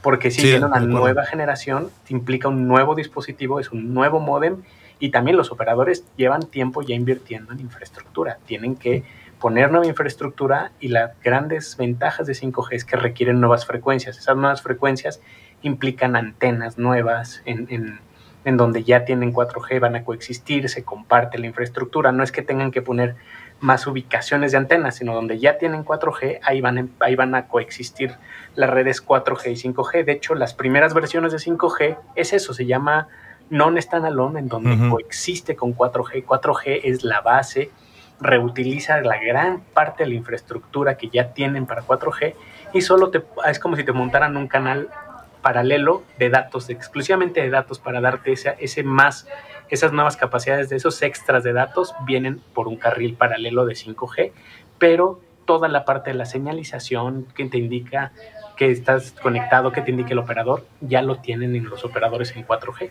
Y esa es una de las grandes ventajas también de 5G que se pensó en que va evolucionando a partir de 4G. Lo único que la industria debe preocuparse es poner una sigla distinta a NSA para cambiar un poco la tranquilidad de la privacidad de los datos de los usuarios. Pero, Ah, claro. pero más allá de eso, eh, y para retroceder un poquito en el tema, eh, para los que seguramente no están leyendo Newsgeek o no han leído medios de comunicación de tecnología, pues el Snapdragon 480 ya fue presentado con Nokia hace una semana. Eh, de hecho, el, el X10 y el X20 no sé si, bueno, son los primeros equipos, no sé si realmente el número uno, pero uno de los primeros en llevar este eh, procesador Snapdragon 480 con capacidad de 5G y además acompañados de la, del Adreno 619, que es algo que vemos justamente en los procesadores 750, que también son 5G. O sea, como que o sea, hay, hay, hay, una unificación de, elementos, pero para, para, contextualizar la conversación previa. Sin embargo, hay otro tema que tiene que ver también con la complementación de tecnologías de conectividad. Y ahí, Ricardo, eh, el, el, 5G no es solamente eh, un, un, tema en el que se enfrasca Qualcomm, sino que Qualcomm también está detrás del desarrollo de los nuevos estándares de Wi-Fi, no del Wi-Fi 6E. Eh, y es justamente un elemento complementario. ¿Qué tan necesaria es la implementación paralela de ambas tecnologías y si realmente la región está en esa carrera paralela para complementar estas tecnologías? Fíjate, te voy a platicar una historia que, que, que, que, remonta ya hace unos cuantos años en 4G, 4G avanzado, ¿no? Cuando empezó el uh -huh. 4.5G, eh, yo estaba de vacaciones, tenía que salir y, este, y mis presentaciones y cuando voy a dar un evento son presentaciones, que algunas casi cercanas al giga, ¿no? Porque son videos de muy alta calidad, imágenes, todo. Y yo estaba de vacaciones y se me olvidó antes de salir de la oficina mandar la presentación al evento. Y era una esta presentación de un giga. Y estaba yo en una zona, en, una, en un área rural. Entonces quiero, este, necesito enviar mis datos, la presentación. Y cuando me conecto al wifi del, el, del pequeño hotel en donde estaba, que le, cuando le pongo subir el archivo, me dice, me voy a tardar 18 horas. ¡Ay, Dios mío! Entonces yo dije, wow. Me da un ataque. No, bueno, después dije, bueno, al otro día iba a ir a una ciudad más grande. Dije, donde ya había un hotel de marca ya más reconocida. Uh -huh. ah, bueno, en el hotel este es grande, lo voy a poner. Bueno, le pongo ahí, le quiero poner archivo, lo quiero subir y bajó de 18 horas a 12 horas más o menos. Y dije, no, ¿y esto es Wi-Fi qué hago? Y veo que mi teléfono se tiene activo el icono 4.5G. Lo pongo como hotspot y desconecto mi computadora a, a, esa conexión. Subí el archivo en 15 minutos. ¿no? Entonces, ese es el tipo de diferencias. Entonces, ya el Wi-Fi ya estaba, una red 4.5 estaba muy avanzada comparada con las redes Wi-Fi comerciales. Entonces, también esto significa que las redes van, van creciendo paralelas. Nos, nosotros nunca hemos visto que se compiten, sino se complementan. Muy bien. Entonces, con un 4.5G está el Wi-Fi 5 ya de la mano el Wi-Fi 4 estaba cuando tenías un 3G, porque queremos nosotros en Qualcomm que tengas una experiencia uniforme. Entonces, todos los de 5G, algo que hemos visto y que estamos promoviendo muchísimo, es que los de todos los que sean 5G tienen el estándar nuevo de Wi-Fi 6, que esta versión de Wi-Fi mejora muchísimo en conectividad, en capacidades, mejora mucho en la parte de exteriores, mejora mucho el consumo de batería para que ya puedas verte una serie completa en tu teléfono de Netflix sin tener que conectarte, poder moverte sí, claro. con eso. Y, este, y, eh, y también le mencionabas la parte de 6E, que es un nuevo espectro, una no, son los nuevos canales que se están estandarizando a nivel eh, global, que le demos un gigahertz nuevo, canales más grandes para que tengamos eh, más capacidades específicamente para este Wi-Fi que nosotros le hemos promovido ya hace mucho tiempo y todos los que vienen con 5G vienen de la mano con Wi-Fi 6 porque si no hay red 5G, tú puedes tener los beneficios de conectividad de una red Wi-Fi 6 y al, mm. y, y al, revés. Entonces, pero la idea es que siempre que tengas, y si tienes las dos, pues qué mejor, ¿no? Esa es una sí, claro. oportunidad, ya siempre estás con buenas conexiones, pero es darle a los, a los usuarios esa oportunidad de que también experimenten conexiones más poderosas. Una, mientras, una vez que pruebas conexiones más poderosas, la generación anterior se te hace muy lenta, ¿no? Cuando estábamos en 4G te ibas a 3G, decías, ¡qué horror! ¿No? ¿Cómo te, que es, esto es demasiado lento? Ahora, eso mismo va a pasar cuando te vayas a 5G, cuando viene, y una vez que pruebes ya velocidades arriba del gigabit, todo va a parecer muy lento, pero bueno, además de, de, de eso, no nada más pensar que una conexión de un gigabit es muy poderosa para un usuario, un, un, esos datos se dividen entre más usuarios y mientras más capacidad tengas como red, más usuarios puedes atender y de mejor calidad. Entonces esa es claro. la importancia de tener, de dar este paso a esta nueva red, más datos, y más calidad para nuevos servicios y para más gente. Seguramente uno de los elementos a evidenciar con esta tecnología también será la latencia, que eh, yo justo ahora en casa he cambiado de plan de operadora tradicional a uno de fibra óptica y es increíble cuando, por ejemplo, un, asunto sumamente práctico, cuando uno está en una serie en Amazon Prime Video, que es lo que estoy haciendo ahora, que cuando tú ves una serie, le das clic o le pones play al capítulo y avanza, ya sale esta parte de omitir introducción. Y tú le das clic en la tele, en cualquier sitio, y habitualmente siempre hay un tiempo de latencia, de demora, de carga de la siguiente parte del episodio que quieres ver. En mi caso, con la computadora cableada, con este eh, router con fibra, ya no tengo esa pausa. Le voy a emitir introducción y automáticamente empalma la siguiente parte del episodio y no lo había visto nunca en mi vida. Pensé que era un asunto de... O sea, eh, como si estuvieras descargando el archivo directamente en tu PC y corriese eh, offline. O sea, esa es un poco la idea de latencia, de que realmente la, interacción de la red entre dispositivos es 10 milisegundos para abajo. Es una brutalidad. No, y es, eso es un caso buenísimo el, que, que, pones ahí, pero fíjate que a nivel de estadístico y a nivel de red, cuando tú empiezas a descargar más datos, tú descargas, si descargas un paquete más grande, ya que te como usuario tú ves primero eso, que ya no tienes ese lag entre, pues quieres pasarte de servicio, quieres adelantarle, quieres regresar. Pero eso también a nivel de red significa que puedes bajar más datos y liberas los recursos para otras personas. ¿no? Entonces, mientras tú ya bajaste un pedazo de, tu red y lo estás reproduciendo, esa red ya está disponible para que tu vecino, otros, otras personas lo ocupen. Y ahí es donde se genera mm. escala y ahí es donde me, generas un bien común, más conexiones de más calidad para todos. Tú lo experimentas, pero lo experimentan los de al lado también y también inclusive dejando para generaciones anteriores, de liberar recursos también para ellos para que puedan tener otra experiencia, mejor experiencia.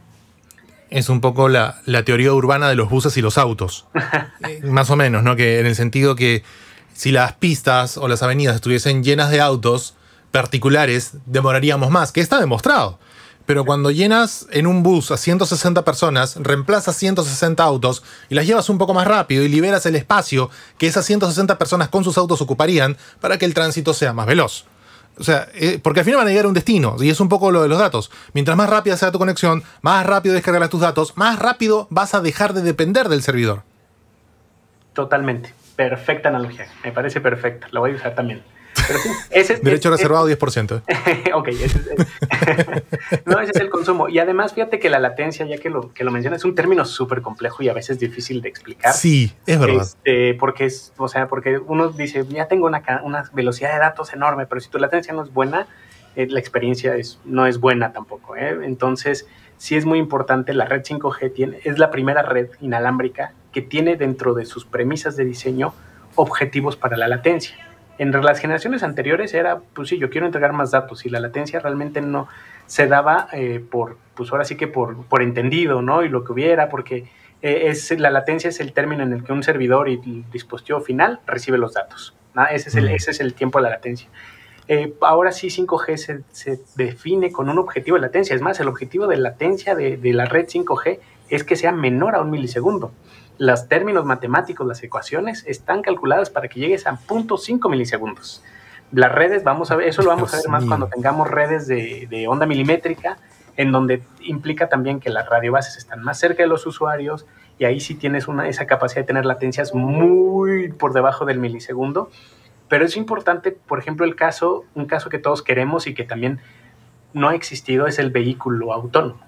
Un vehículo autónomo que va manejándose, que, lo, que va a 60 kilómetros por hora, que, no es una, que es una velocidad promedio de, unas, de las ciudades, de las áreas urbanas, en, si, imagínate que va de manera autónoma y tiene una cámara, la cámara está, todo, está moviendo y tiene cámaras y sensores, si detectan la cámara algo en el camino, tienes 3 milisegundos para aplicar los frenos y poderlo, este, y, que no, y evitar un accidente. Entonces, tú necesitas que esos 3 milisegundos, te necesitas un tiempo de un milisegundo para mandar la señal, uno para procesarla y otro para regresar la decisión de aplicar los frenos. Eso no lo puedes hacer en una red 4G. Es donde necesitas red 5G y ya en, y eso es ya viéndolo para vehículos comerciales, pero eso también aplica muchísimo para robots industriales que están colaborando, donde están trabajando robots y personas al mismo tiempo, drones. ya empieza a haber vehículos eh, para entregas de, este, de, pizza, ¿no? Hace, ayer estaba viendo que mm. anunciaron eh, Domino's Pizza en, en, Estados Unidos ya tiene, por, ya le autorizaron entregar pizzas con vehículos autónomos. Es porque ya hay una red 5G, es porque ya hay redes que lo están haciendo. Entonces, esto nos va a abrir cosas que, que, que, nos abre la oportunidad para muchísimas cosas que parecen ciencia ficción, pero ya están ahí esperando que haya una red capaz de soportar estos nuevos servicios. Pero quiero volver a uno de los temas que hemos tocado tangencialmente y tiene que ver justamente con este incremento de dispositivos que se conectan a Internet. No solamente autos, drones, cámaras de seguridad, semáforos inteligentes por fin. Es decir, toda una rutina, todo un ecosistema de soluciones eh, a nivel urbano y rural seguramente en un futuro pero cuya demanda ha provocado lo que vivimos ahora, ¿no? ¿Cómo enfrenta, cómo, cómo ha asumido Qualcomm este, este asunto? Escuchaba a, Cristiano Amón mencionar justamente el tema que es preocupante, el de la escasez de procesadores. ¿Cuál es el, plan de Qualcomm ante esta situación? Pues bueno, trabajar con todos nuestros partners para eh, llevar esta línea de producción a, lo mejor, a la mejor solución posible. La verdad es un tema súper complejo.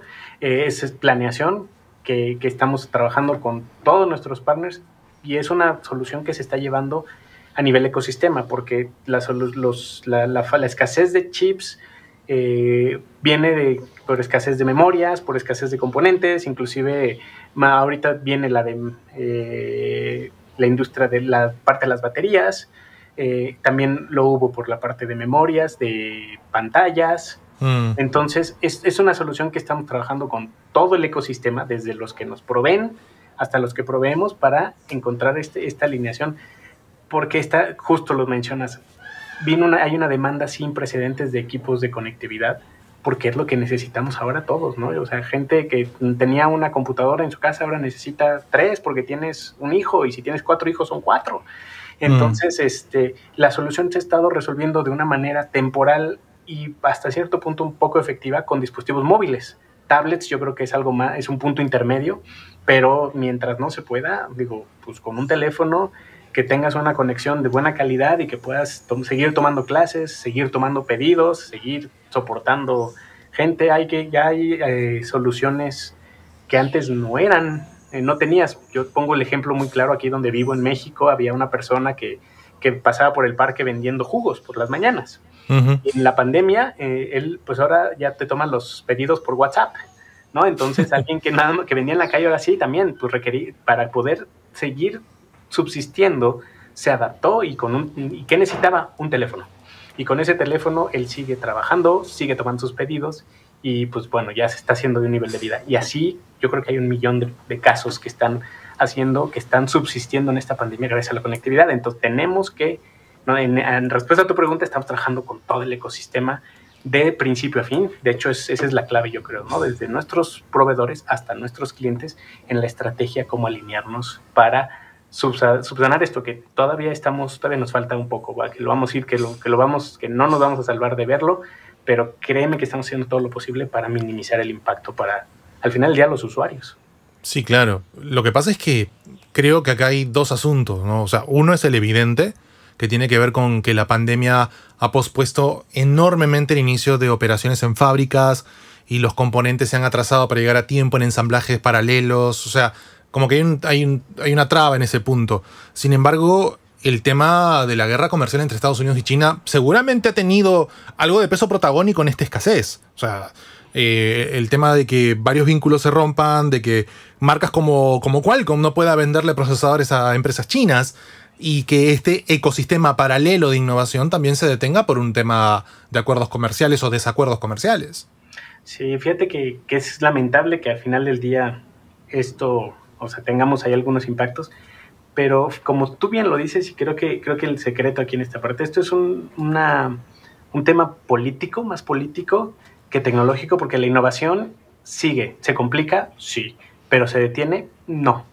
¿No? O sea, de hecho también obliga a soluciones creativas, ¿no? Los, las empresas pues se reinventan, se reorganizan, eh, surgen nuevos eh, jugadores, salen nuevas formas de resolver el problema.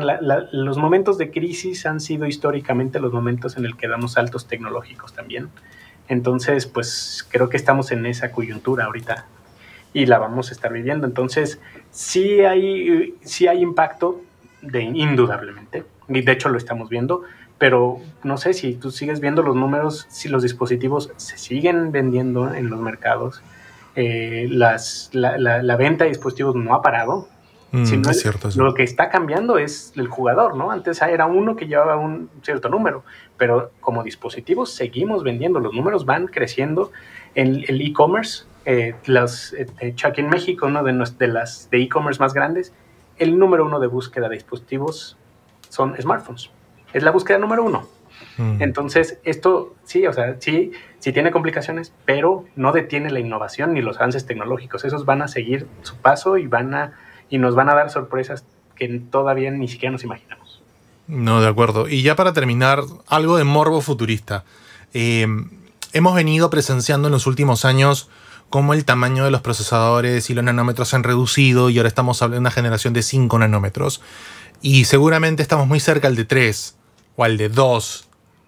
Teóricamente son límites que se vienen implementando desde hace tiempo respecto al material, respecto a los recursos con los que serán los procesadores inferiores a 2 o 1 nanómetro. O sea, estamos, estamos en un umbral fantástico que requiere justamente un montón de investigación, que requiere estrategias de otro tipo también, ¿no? Porque estamos hablando de un cambio de paradigma ya para construcción, que seguramente va a costar un poco más al inicio, pero hasta que encuentre un nicho se va a estabilizar nuevamente como hoy, pues, sugiere la industria siempre. Eh, ¿Cómo ven desde Qualcomm este, este paso? Porque va a ser un antes y un después. el empezar a seguir bajando medidas de nanómetros hasta llegar a un teórico imposible que se pueda hacer posible en unos años. Pues mira, como ha sido en, todos los avances tecnológicos, digo, eh, esta parte sí, es, a mí, para mí es fascinante.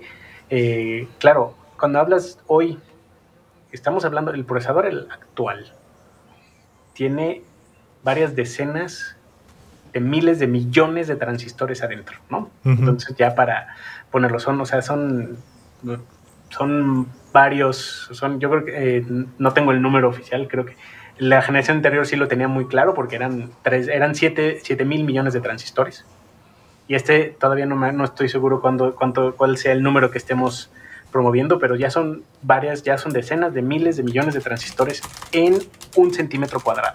¿no? O sea, eso ya de entrada es, rompe muchísimas este, eh, referencias. A ver, 171 millones de transistores por milímetro cuadrado. Eh, mira, no, varias decenas, o sea, son 17 mil millones de transistores eh, en, un centímetro. Y sí, oh, exacto, sí, sí, sí, perdón. Claro. Son 171 millones de transistores por milímetro cuadrado en un proceso, en, un, eh, en una arquitectura de 5 nanómetros de acuerdo a números de TSMC. Exacto. y vamos a llegar a 290 millones eh, con, la de 3 con la de 3 nanómetros. Ahora. Dios mío. O sea, imagina, o sea, esa referencia. Ahora, ¿qué tanto puedes hacer el consumo de energía también? La reducción. claro. La reducción tiene dos, dos motivos. Uno, meter más capacidad, pero también es reducir el consumo de energía. Porque si empiezas a aumentar capacidad y no reduces el consumo de energía, la tecnología no avanza.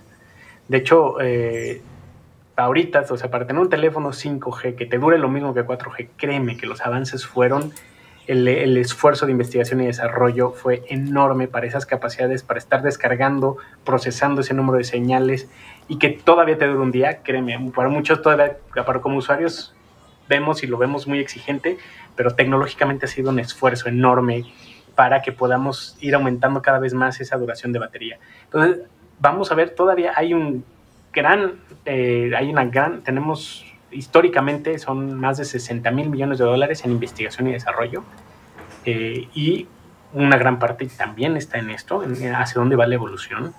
Eh, y pues cuando lleguemos allá a más, abajo de 5 nanómetros, ya estamos en el límite del silicio y de las teorías de la física cuántica.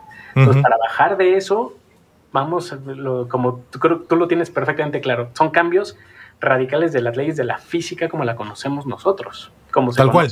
Entonces va eh, el, el después de ese salto va a ser algo completamente radical y, muy innovador y va a tener, nos va a cambiar la industria y la forma en la que hacemos negocio todos. ¿no? Entonces, para eso, y para eso vamos todos, y para eso todo el mundo está investigando, ya estamos, ya estamos entrando a los quantums. ¿no? Ya son otros, otros elementos mucho más pequeños, eh, más diversificados, pero ¿cuántos son realmente? Todavía no tenemos una física que nos lo determine al 100%. Entonces, para allá vamos, eh, se está investigando, estamos entrando, pero créeme que con lo que tenemos, vamos a, ya, mira, el, con esto, en la última generación, el triple 8, es más, o el, o el 865, la generación pasada, mm. todavía siguen saliendo, ya van a salir equipos de cómputo, ¿no? Ya salen, eh, ya tiene suficiente capacidad tan poderosa para hacer realidades virtuales y aumentadas. Tienes capacidad para poner equipos, este, drones y eh, este, robots de ya de alta capacidad. Ahora imagínate cómo, qué tanta capacidad necesitamos. El, ahorita están haciendo troubleshooting del Ingenuity en Marte. El Ingenuity, eh, el sistema, el controlador del, de vuelo, está basado en un dispositivo de Qualcomm, en un, la plataforma se llamaba Snapdragon Flight, que está basado en el 801, que es un, procesador que salió en el 2014. Claro, lo tuvo el Z3 de Sony. Lo tuvo el Z3, lo tuvo HTC, lo tuvo LG, lo tuvo un Samsung Galaxy. Perdóname, menos mal que no pusieron el 810 versión 2. ¿ah? menos mal. ¿Sabes por qué? Porque este estaba diseñado hacia el. este Se diseñó una plataforma para drones. Que también, ah. como Qualcomm, además, ya, este, ya vamos en estas tres generaciones de drones, de robótica, de visores de realidad virtual aumentada, de cámaras, de sistemas de audio es Qualcomm nos ubicas muy bien por los procesadores Snapdragon, pero tenemos la parte de Wi-Fi, de, eh, ya van dos generaciones de realidad virtual, vamos tres generaciones de cómputo, también eh, vamos dos generaciones de Chromebooks, tres generaciones de Windows.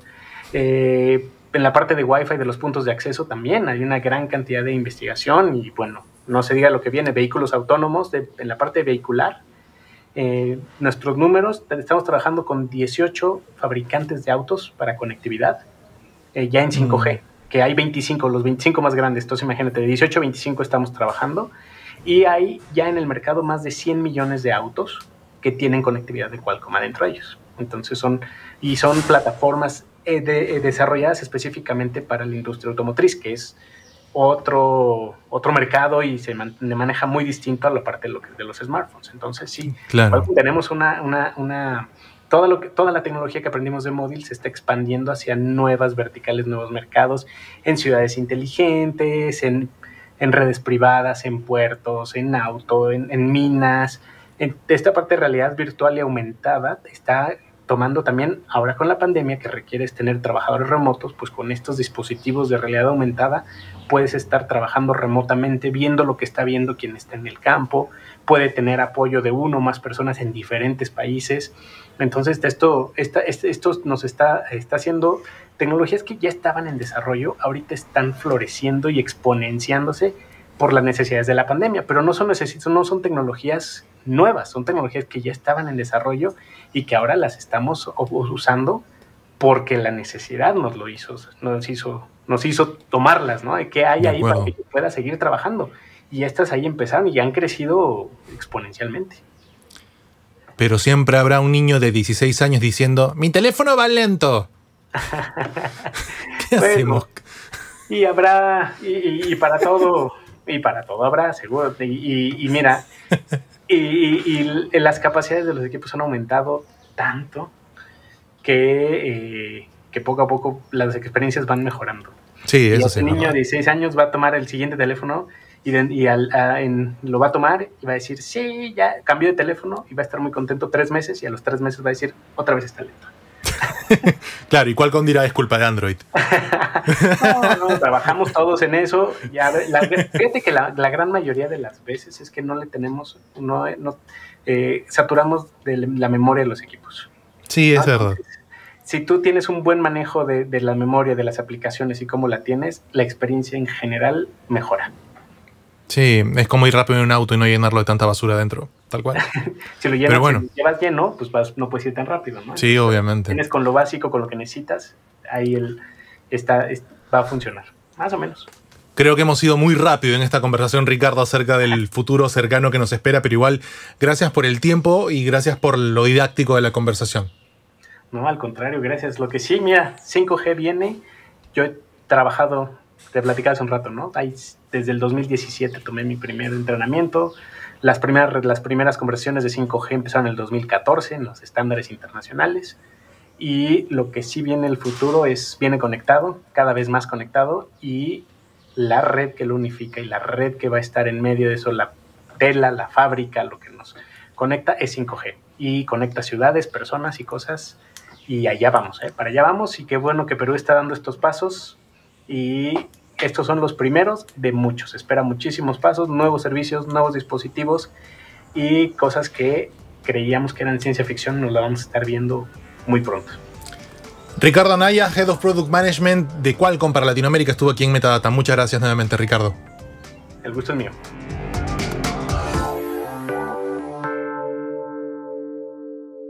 Metadata.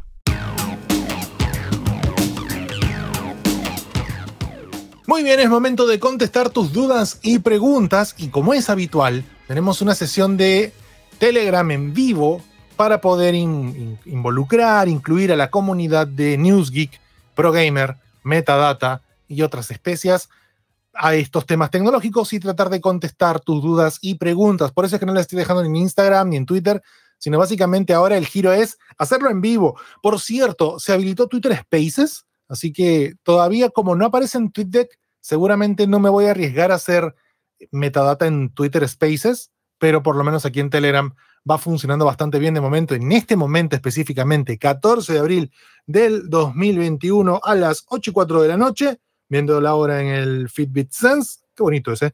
Vamos a arrancar entonces con esta ronda. A los participantes están con la opción de levantar la mano y ahí en la misma aplicación de Telegram hay una manito que pueden chancar para hacer la pregunta si desean hacer alguna y yo trataré en la medida de lo posible pues de contestar. Mientras espero que alguien levante la mano de los 19 participantes que están en esta transmisión, pues directamente contarles que hemos publicado en Newsgeek una nota, bueno, de hecho Levan Kajima la ha publicado de maneras eficientes para combatir la humedad de los teléfonos. Pueden entrar a verla y ya no tienen que ponerle arroz. Así que está interesante, a mí me sorprendió cuando la leí. Vamos a escuchar a Cucu. Cucu, ¿por qué ese nombre? Primero cuéntanos cómo te llamas, ¿no? Para, para saber si estamos hablando con un humano o con un bot. ¿Cómo estás? Prende tu micro, por Hola, ¿qué tal? Me llamo Jesús Celestino. ¿Qué tal? Este, te, te, sigo, oye, buenazo. Y ah, mi pregunta... No me he bañado. ¿Cómo estás? este, ya, mi pregunta era este, por el, el, el, el feed, el, nuevo, el último feed de Xiaomi, este, si sabes Ah. cuándo más o menos lo sueltan. Y El Mi Band. el Mi Band, la Mi Band 6, y si tienes Ajá. alguna recomendación en smartwatch que no sea tan caro como un Samsung, este, el Active 3, porque, bueno, a mi presupuesto es carísimo. Este, y, y nada, un- uno más o menos ahí que pueda estar una gama de, no sé si, si A ver, se ¿Qué has usado? Primero, quiero saber qué has usado antes. He usado un Galaxy Fit, eh, el Galaxy Fit, el, el primero que había. Estaba Ajá. por comprarme el 2 y justo cuando salió la Mi Band 6 que tenía oxímetro y todo eso, y justo tenía recuperación de COVID y todo, entonces este, dije, oye, sería Oh. bueno, ¿no?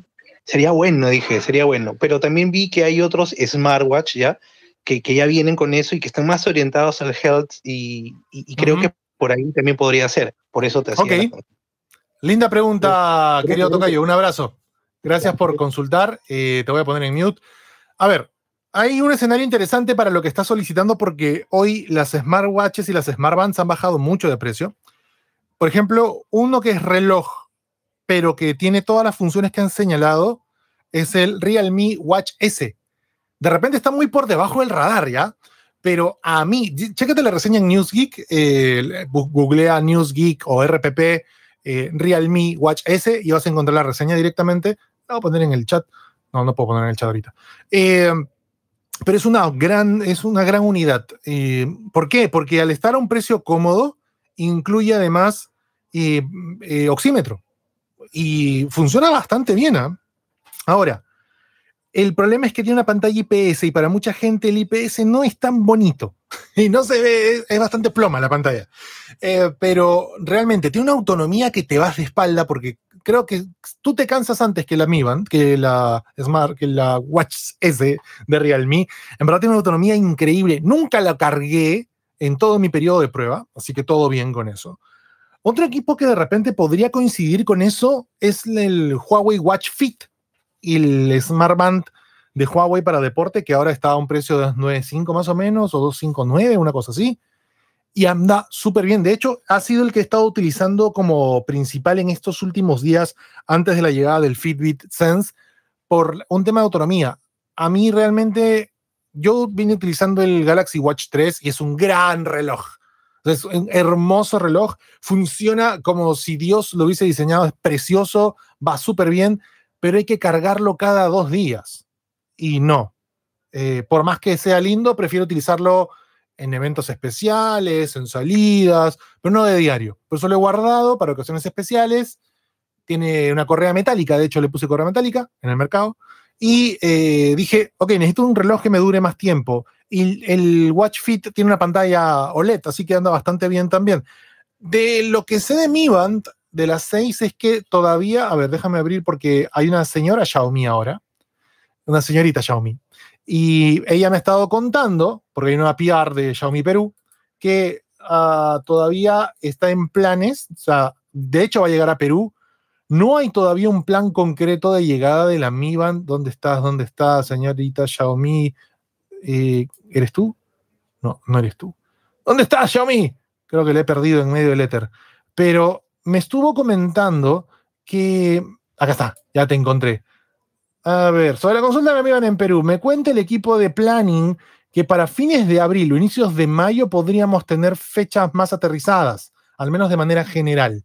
Es decir, que recién a finales de este mes vamos a saber cuándo llega. Paciencia, no desmayes, no hay que temer Robin Hood pronto vendrá. José Lemus anda preparándote que te voy a dar el micrófono, pero lo único que te digo es a Jesús, mira, vete por Realme Watch S o en todo caso la, la Huawei Watch Fit, que andan súper bien. José, prende tu micrófono. Y creo que son buenas opciones, no tan caras, si la comparamos con una Mi Band que está ciento y tanto. Pues estas están entre 250 y 300, pero son buenas soluciones también. Así que espero haberte ayudado con eso. José, José Lemus, ¿ya te activé el micrófono? ¿Qué tal? Jesús? Todo bien, cuéntame. Mira, te escucho desde acá, El Salvador. Oye, como dirían en Los Simpsons, El Salvador. Y a ver, cuéntame, eh, ¿en qué te podemos ayudar? Fíjate que estaba, hace, un par de episodios estaba escuchando que estabas hablando de las NFTs y pues creo que te has quedado ahí eh, en busca de alguien que te pueda sí, dar un poco y no lo he encontrado. es tan verde el asunto que, que, no, no hay un especialista concreto. Fíjate que yo estaba viendo hace poco tu historia, eh, eh, por cierto, felicidades que te, te dieron el award de, de Silver ah, en ah, YouTube. Está llegando, Entonces, puedes, puedes, estar viendo un, canal que, el cual creo que te puedes apoyar. se llama Coinary TV, creo que son de Argentina, los chavos y ellos puedes hacer ahí un, un live entre tu, tu, canal con ellos para apoyarte en ese tema porque son bastante expertos en, en eso de los NFTs y, lo, y, lo, y las ah, ¿Cómo se llama, dices? Se llama Coinary TV. Coinary TV. Correcto. Entonces con ellos creo que podrías buscar un apoyo y, y sería bueno para tu canal que se, hicieran ahí un, un live entre ustedes. Coinery TV. Mira, no, no, yo he venido buscando podcast justamente para, para conocer eh, si es que hay la posibilidad de explicar el tema del NFT, más que el tema técnico, teórico, el tema del potencial que tiene, que es lo que más me llama la atención. Pero gran dato, José, en serio, lo agradezco mucho. No, gracias a ti eh, por tu excelente programa y pues ahí te sigo escuchando siempre. Y pues yo soy el, tal del recto que te pregunta en, en, Instagram. oye, qué gusto, gracias por eso, oye. Bueno, gracias igual. Un abrazo, cuídate mucho y gracias por escuchar desde El Salvador, que tuve la chance de estar horas nomás en el aeropuerto de San Salvador. Qué calor hacía, Dios mío. Pero sí, estuvimos, recuerdo haber estado ahí el último viaje para, eh, el último viaje concreto que tuve antes de la pandemia porque hicimos escala en El Salvador antes de San Francisco para el Unpack del S20 Ultra. Eh, quien quiera hacer una pregunta, levante la mano, no hay ningún problema mientras, mientras me dejan hablando solo, para variar.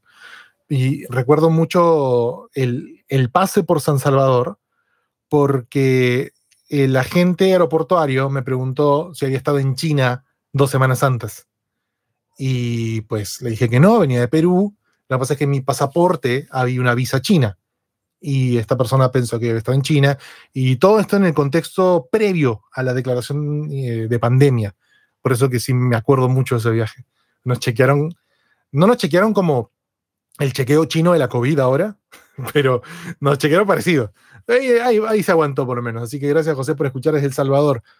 No hay más preguntas, en verdad. 30 eh, participantes, gracias. Mira, Fedor, Pedro Fedor, como estoy esqui, está ahí levantando la manito. ¿Cómo está Fedor? O Fedor. ¿Cómo te dice? Fedor, ¿qué tal? ¿Cómo estás, Jesús? Un gusto conversar con todos. no, por favor. Porque justo estoy viendo algunos productos y, por ahí me enteré que venían unos nuevos Sony Xperia, eh, creo que es 1.3, y también que Amazon estaba lanzando unos EcoBots 2. Entonces, no, no sé si tienes novedades con respecto a estos productos y, qué nos podrías recomendar.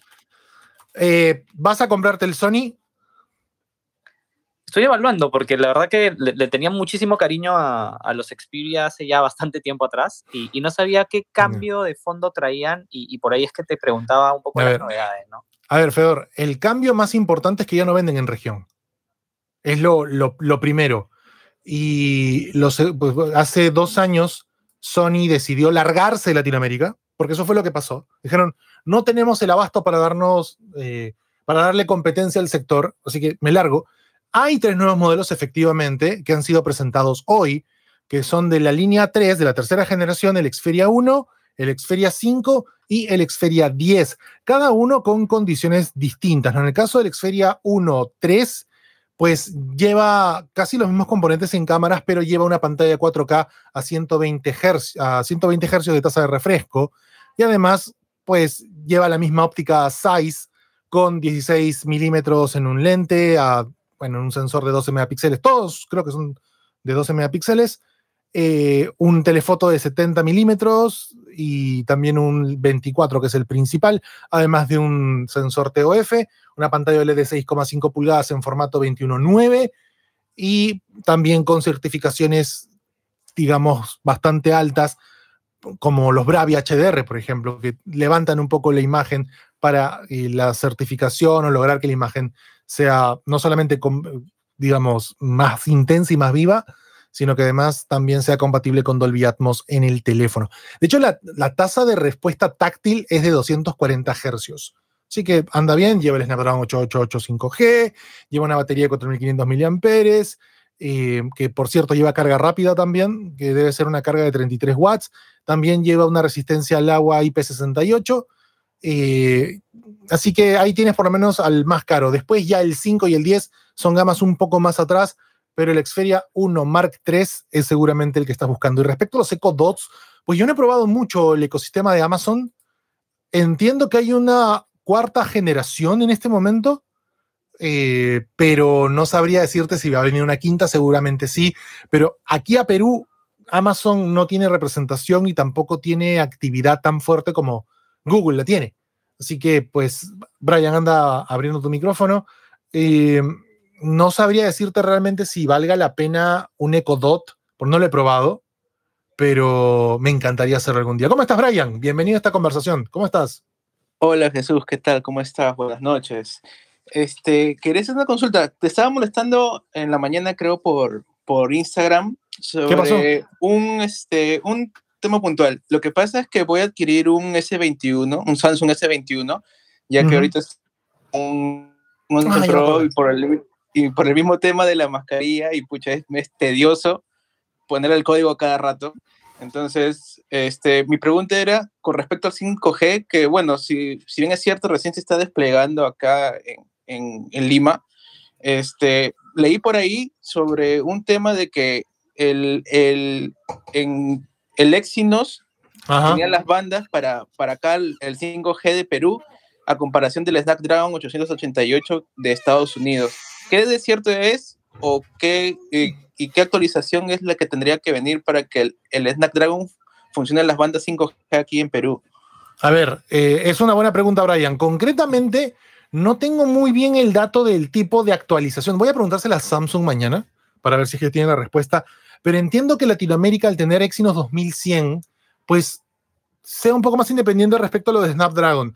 Entiendo también que Snapdragon, el, el triple 8, sea un poco más amable con las nuevas bandas NSA y SA, pero de todas maneras creo que pasa el mismo procedimiento que Apple, que cuando tú tienes un iPhone 12, para que pueda funcionar el 5G, llega una actualización en conjunto de Apple y la operadora para habilitar el chip que tienes en el equipo que puedas usar por 5G. O sea, tú puedes haber comprado el equipo en cualquier lugar del mundo y usarlo en Perú, pero no puedes usar el 5G porque requieres activar por actualización el chip.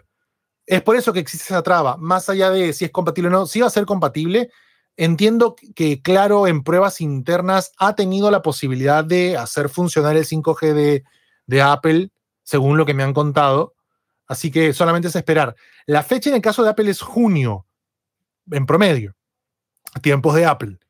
Pero de Samsung lo voy a averiguar mañana, a ver si hacemos una nota para NewsGeek, porque al venderse aquí el Exynos 2100, que si no me falla la memoria, el equipo no es 5G, no recuerdo ya, el S21 lo probé hace un par de meses y no recuerdo si es 5G, estoy buscando la reseña ahorita para ver las specs. Eh, sí, es 5G. El Exynos 2100 es 5G y llega con 5G. Eh, así que, pues, en teoría, entiendo que las operadoras lo están ofreciendo como parte de sus planes con Exynos 2100 5G. Em, en el caso de Qualcomm y Snapdragon, yo he probado 5G con Snapdragon 865 y no he tenido ningún problema. Ha cogido 5G sin ningún problema. Pero no sé si el 888, asumo que sí, pero reitero, debe haber este factor adicional de añadir un software para que puedas habilitar el 5G y el uso del, modem, porque, porque así son. Pues, ya, no, ya, ya no sé realmente cuál es la lógica en ese punto, pero si las marcas quieren tener un control excesivo sobre la experiencia de usuario, pues no hay ningún problema, están en su derecho también, así como tú de exigir una actualización. Por algo tienes el producto. Bueno, eh, más preguntas. Si hay la chance de tener alguna, levanten la manito. Ahí está Giancarlo. Gracias, Giancarlo. Te estoy activando el micrófono y después vamos con. No, perdón, perdón, perdón, Robert. Vamos primero con Giancarlo y luego te activo, Robert. Mil disculpas. A ver, Giancarlo, ¿cómo estás? Sí, Jesús, ¿qué tal? Buenas noches. ¿Cómo estás? Acá bien, yo te sigo desde lo que era un buen elemento y, y de Lego en Capital. Ok, nos pusimos viejos. A ver, ¿en qué te ayudo ahora que es 2021? No, no tan viejo, no, me hacen compañía en mis tiempos cuando estaba estudiando en la universidad. Bueno, momento. Cuéntame. Jesús, una consulta. Mira, yo lo que requiero es una laptop para lo que es el sistema, o usar mejor dicho, el programa AutoCAD. Ajá. Y mayormente, no sé si la laptop se podría, o sea, sé mayormente lo que requiere, tanto un 8 RAM, un SSD, pero mi problema es que yo soy de provincia donde podría adquirir o qué locales o cómo podría tener una buena laptop para ese programa. Es que ahí viene un poco la complicación porque yo no conozco locales de provincia donde le puedas comprar. o sea, un poco yuca eso para mí, porque no, no tengo ni idea cómo son las distribuciones allá. Mm, ¿Me podrías entonces recomendar o no sé, estoy un poco limitado? No, no, no, entiendo, entiendo eso, pero no tengo ni, ni perra idea de dónde lo puedes comprar. ¿En qué provincia estás? Yo soy de Nazca, en el departamento de Ica. Estás a cinco horas. Estás a cinco horas de Lima. Mira. No, en realidad son ocho. Ay, cierto, Nazca es más lejos, ¿no? Sí. Eh, lo que pasa es que estoy buscando. Mi hermano es arquitecto y él usa AutoCAD. Y él me mandó hace unos meses una especificación, porque yo le pregunté en un live de YouTube que me mandara justamente las specs para una computadora que corriese AutoCAD. No tengo a mano, el, no tengo el audio de mi hermano porque al cambiar de teléfono pues mucha información se borra también, pero entiendo que Nvidia eh, ayuda mucho en el tema de procesamiento en, en las tarjetas, eh, pero igual, mira, de básica por lo menos vete por algo que tenga M2, una memoria M2, de repente de generación 3, PCI Gen 3, para que puedas tener más velocidad al momento de lectura de Windows y levantar programas. Por ahí de repente algo entre 16 a 24 GB de RAM también. Podrías partir de 8 porque tener SSD va a respirar la máquina, pero de repente 16 podría asegurar un mayor rendimiento para el tema de render en AutoCAD, que suele ser un poco pesado, pero creo que podrías apostar más por Nvidia en ese punto. Eh, ahora, ¿dónde comprar? Pues ahí sí, te digo, lo que podrías hacer en todo caso es comunicarte con tiendas de Lima y consultar, porque ellas también hacen envíos a provincia. Evidentemente hay un sobrecosto, pero un sobrecosto en un punto medio como Ica, ciudad, podría ser menor a un sobrecosto de Lima. Nazca. Por ahí te puede salir de repente a cuenta, no lo sé. Eh, si Robert, ¿estás por ahí todavía para habilitarte el micrófono? Mil disculpas para... Ahí está Robert, entonces vamos a habilitarle el micro al buen Robert. ¿Cómo estás? Robert. Ya, ¿se me escucha? Te escucho ahora sí, perfecto. ¿Cómo estás? Listo, hola Jesús, buenas noches. Este, justo mi pregunta era también relacionada a laptops a ver. De repente voy a poder ayudar también a, al compañero que habló hace un, hace un momento. mi duda más que nada era, yo también voy a utilizar este, programas tipo AutoCAD y modelado en, en 3D y pensaba actualizar la laptop que tengo. Y estaba viendo este, entre qué tan útil me es este, la CRTX, o sea, específicamente el ray tracing para este tipo de, de modelados si, si, si hace mucha diferencia con una laptop que tenga alguna GTX. Ahora, Robert, ¿por qué laptop? Por movilidad más que nada. ¿Te estás moviendo mucho en pandemia? Eh, ahora no, pero este... Esto no va a acabar en un año, ¿eh? Claro, no, de hecho que no, pero eh, mira, la laptop que tengo ahora la tengo ya casi ocho años. ¿Qué laptop es? Ocho, es una Samsung, una AtiBook 2. Dios mío. Sí, pero aunque no. Una AtiBook. No, no, no, es que eso, eso, yo he probado la AtiBook y, y, es una buena laptop, creo recordar, pero ya en performance ya no jala, ¿no? O sea, ¿hasta qué punto te dio? No, hasta ahorita me da normal. Claro que ya no puedo utilizar las versiones más recientes Sí, claro. Y las versiones antiguas van un poquito, este, o sea, tengo que tener Sobre todo en tema de 32 bits, ¿no? Ya, porque recuerdo que esa llevaba 32 bits. Sí, no, esta es 64. Ah, agarraste 64, qué bueno. Sí, pero, o sea, no me quejo para nada, pero o sea, sí, ya, ya la, la laptop empieza a limitarse. Ok. Bueno. Pero en, tema de calidad de esta laptop, la verdad que no me quejo. El ventilador ni, ni, ni suena. Bueno, ahora ya no hay ventiladores. Bueno, a menos que tengas una tarjeta gráfica que sí los requiere, ¿no? Pero, a ver, déjame husmear un poquito. Gracias igual por la consulta. Te voy a prender el micrófono un rato, Jano. Déjame parir la idea. Eh, a ver, entiendo que ray tracing es una tecnología que permite un mayor control en el tema lumínico, que eh, permite que eh, realmente la luz se proyecte en las superficies renderizadas como la misma eh, la misma ley natural lo permite, ¿no? Es decir, que la refracción vaya como debe ir en la vida real. Y es por eso que a diferencia de papel tapiz que se colocaba antes en los juegos, por ejemplo, para representar zonas iluminadas, en este caso el proceso de iluminación en los juegos con RTX es mucho más dinámico. Pero, mira, en ese punto entiendo que en AutoCAD para el render, más que para el render, sino para el, para el viewing del producto final, el tema sí puede ayudarte muchísimo. Sí, podrías irte por una, por lo menos a partir, bueno, Ray Tracing va a partir de serie 2 de Nvidia, eh, de repente una 2060. Hoy marcas como Asus, como Lenovo, como HP cuentan con este integrado y podría hacerte de ayuda también para el tema del render. Y el tema está en la preferencia que tengas, ¿no? Porque igual una máquina de este tipo con, con RTX va a venir seguramente con una, con una placa compatible con M2, con DDR4 en RAM, para que tú puedas upgradear los componentes y que la experiencia sea mejor. Así que por ese lado, de repente, entre Asus, Lenovo HP, puede estar tu siguiente máquina. Vamos a habilitarle a Jano y luego vamos con Pedro Rivas. ¿Cómo estás, Jano? ¿En qué te ayudamos? Prende tu micro, querido. Hola, Chucho, ¿cómo estás? ¿Cómo estás? Eh, Cuéntame. ¿Cómo están tus primeras impresiones del, del, A52? Porque lo he estado ahí comparando con el, con el Redmi Note 10 Pro. Y este, bueno, creo que el Xiaomi por unas cositas adicionales le, se diferencian. Creo que tiene un mejor Snapdragon y todo eso.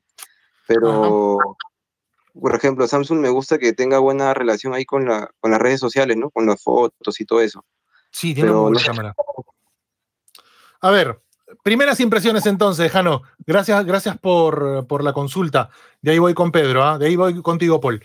Eh, primero, o sea, es un toque raro, porque el equipo que tengo a prueba es una edición de 8 GB con 256 GB de almacenamiento interno.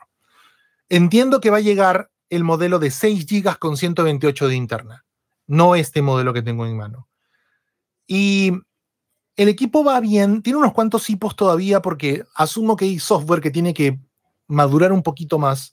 Raro en Samsung, eh, pero en el tiempo que he venido usando, lo que son dos días aproximadamente, el uso de equipo, seis horas y media de pantalla por un día. Ahorita, por ejemplo, lo he desconectado a las 6 y 20 de la mañana, no, hasta 10 para las 6 de la mañana, y lo tengo al 37% de energía, con, energía todavía, bastante, debo decir, para mi tiempo de uso. Estoy buscando ahora el tema de la batería y el uso que le he dado hoy. Eh, a ver, hace 14 horas vengo usando el equipo y en verdad, acá está, tiempo en pantalla, 4 horas con 13. Sí, entre 4 a 6 horas de pantalla, sin ningún problema. Eh, carga 25 watts, así que carga bastante bien también, va rápido en carga, como va Samsung. No es una carga ultra rápida como Xiaomi o la querida 65 watts del Realme 7 Pro. Pero sí, es un buen teléfono. El tema de carga de fotos va bien el estéreo suena precioso, o sea, suena muy bien el equipo en estéreo. La, la tapa trasera de policarbonato es un toque rara, como parece un frosting, parece un turrón con frosting. Pero se siente bien, o sea, es un poco más es del color del iPhone 11 moradito, un poco más oscuro que el purplish del Pixel 3 XL que tengo acá y es mucho más claro en tonalidad. Eh, pero por lo demás, o sea, buena pantalla, 1080, va bien, 90 Hz. Me hubiera gustado probar el 5G que tiene 120, pero por lo menos está. Igual, mira, se siente bien a la mano, las cámaras funcionan muy bien, las cuatro cámaras, digo cuatro porque el TOF no lo cuento, eh, va bien el teleobjetivo, el gran angular está muy bien, la cámara delantera de, de 32 va súper bien también. O sea, es un equipo que para redes, como bien mencionas, va bien también y ahora que tiene protección IP67 y encima tienes parlantes estéreo, pues va bien también. Déjame todavía parir un poco las, las preferencias, pero ahí vamos. Vamos con Pedro y luego con Paul y después con Enrique. Ya está habilitado tu micrófono, Pedro Rivas, ¿cómo estás? Noche larga va a ser esta, parece, ¿ah? porque hay 35 personas. No sé si todas vayan a preguntar. Si estabas por ahí, Pedro, ahí está. Sí. Gracias, buenas noches. Eh, mi consulta es referente a Smartbox, de, eh, Android Box, estas eh, cajitas para conectar al televisor y dar servicio a Internet. Eh, he estado pensando en una computadora inclusive, pero ¿cuáles son los productos que están localmente? ¿Cuál es el que va a ser una mejor inversión considerando que el sistema operativo se va a estar actualizando? A ver, ¿estás con la idea de, por ejemplo, en este TV Box meterle películas, meterle series también? ¿O tienes un servidor externo tipo NAS como un Synology o un Western mm, Digital? No, todo, todo iría ahí. ¿Todo por streaming? Sí, todo por streaming. Mira, te digo algo que no te va a complicar para nada ningún momento el Google TV, el Chromecast nuevo con control remoto. Em, ese, es, el que habías comentado en un programa anterior, Google TV, lo, lo anoto eh, Sí, es el nuevo Chromecast eh, que viene con puerto USB-C, que viene con eh, control remoto adicional, porque la navegación ya no es Android TV, sino Google TV cuenta con Google Assistant. Y además mm. tiene mayor integración con el asistente en parlantes y bocinas. También, pues, tienes Apple TV. O sea, tienes un montón de servicios que antes no tenías en Android. Así que, por lo menos es mi recomendación. ¿Por qué no recomiendo otras cajas? Porque la configuración es soberanamente pesada y ridícula. Y en verdad lo que uno quiere es enchufar y disfrutar. Y lo que hace Google TV es simplificarte eso. Esta última versión, eh, fuera está costando 50 dólares. Creo que aquí les están vendiendo en 100. Yo te recomendaría en todo caso que busques servicios como, no sé, DHL Express o Kempo o FEXpress alguno que traiga cosas de fuera y traerte un par de croncas de fuera para hacer que el costo pues sea mejor y de repente vendes uno y recuperas. juega un poco a eso, pero vale la pena tener un Google. Yo tengo tres aquí en casa y vale completamente la pena tener un Chromecast con control remoto. Créeme que la inversión es brutal en verdad. Eh, se nos fue Paul, así que vamos con Enrique Yagami para la pregunta.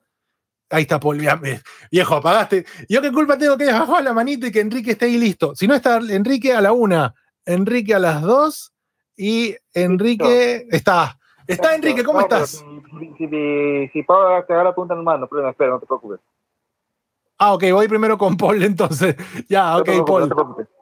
Vamos, Paul. Ahora sí, ¿cómo estás? ¿Qué tal? Gracias, Jesús. Oye, una consulta. Yo estoy pensando más bien eh, usar una PC, eh, habilitar una PC, porque ya tengo que renovar una que ya compré en el 2012. Entonces ya ha pasado mucho tiempo. Tengo una laptop Asus ROG, pero ya, o sea, la he usado todo este año, pero ya pienso que una PC sería mucho más estándar para mí, para, para esta nueva normalidad que demora dos o tres años más. Entonces, ¿qué es lo que hay ahorita disponible que pueda darme una opción de tenerlo unos cinco años, así pensando a futuro? A ver, eh, PC, escritorio, eh, ensamblada por ti, comprar, o sea, me refiero a comprar las partes independientemente. Sí, sí, sí. Así es. Ok, gran tarea esa, Paul, te la regalo. A ver, eh, primero, yo me animaría por Ryzen de AMD, básicamente por, no solamente por el tema de cómo se está desenvolviendo Ryzen. Yo hoy estoy usando Ryzen de tercera, un 3600, que va bastante bien y lo tengo ya casi un año. Cambié a Ryzen porque yo tenía un 1400, de, o sea, un Ryzen de primera generación, que me cambió la vida. Yo usaba AMD, un Phenom 2 del 2011 al 2017. El 2017 cambié a Ryzen y el año pasado volví a cambiar a Ryzen eh, Serie 3. Fenomenal. Tengo un Ryzen 5, un 3600, eh, que va súper bien tengo una RX 5600, creo, de Radeon, que va bastante bien también. Mi placa sigue siendo la Horus eh, A730X o X730, nunca me acuerdo la nomenclatura, pero que es del 2017 y le va bastante bien. Yo creo que, mira, incluso yo con esto hago Premiere, Lightroom, o sea, bastante proceso. Yo creo que es una buena base, pero voy a aprovechar que nuevamente el amigo Nishiyama se ha metido a esta transmisión de Telegram y quiero abusar de la confianza para que nos cuente realmente qué, integrados de PC necesitaríamos ahora. Nishi, tienes el micrófono abierto cuando quieras. Ya, Cuéntanos. Está. ¿Cómo estás? Oye, eh, mira, el amigo Paul Gutiérrez ha preguntado eh, que quiere cambiar de equipo y pues él tiene una ROG que ya, una ROG que ya no levanta y tenía una desde el 2012, pero quiere saber qué componentes digamos, promedio, yo creo que la punta gama media, eh, ¿qué, componentes podríamos eh, eh, recomendarle al amigo Paul Gutiérrez?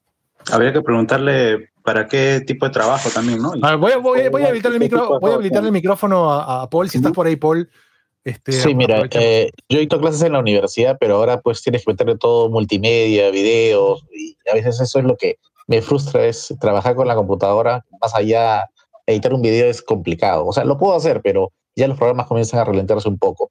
Pero quiero trabajar una desktop mejor que una laptop porque marcar con dos pantallas es mucho más sencillo para mí. Ya, perfecto. Entonces, eh, va a ser con Ryzen, que es lo más recomendable en este momento. Eh, respecto a la placa, eh, sería una B550, porque tenemos la X570, pero es muy cara y no te da muchas ventajas. La B550 es un poco más barata, y te da la compatibilidad con Ryzen de quinta generación.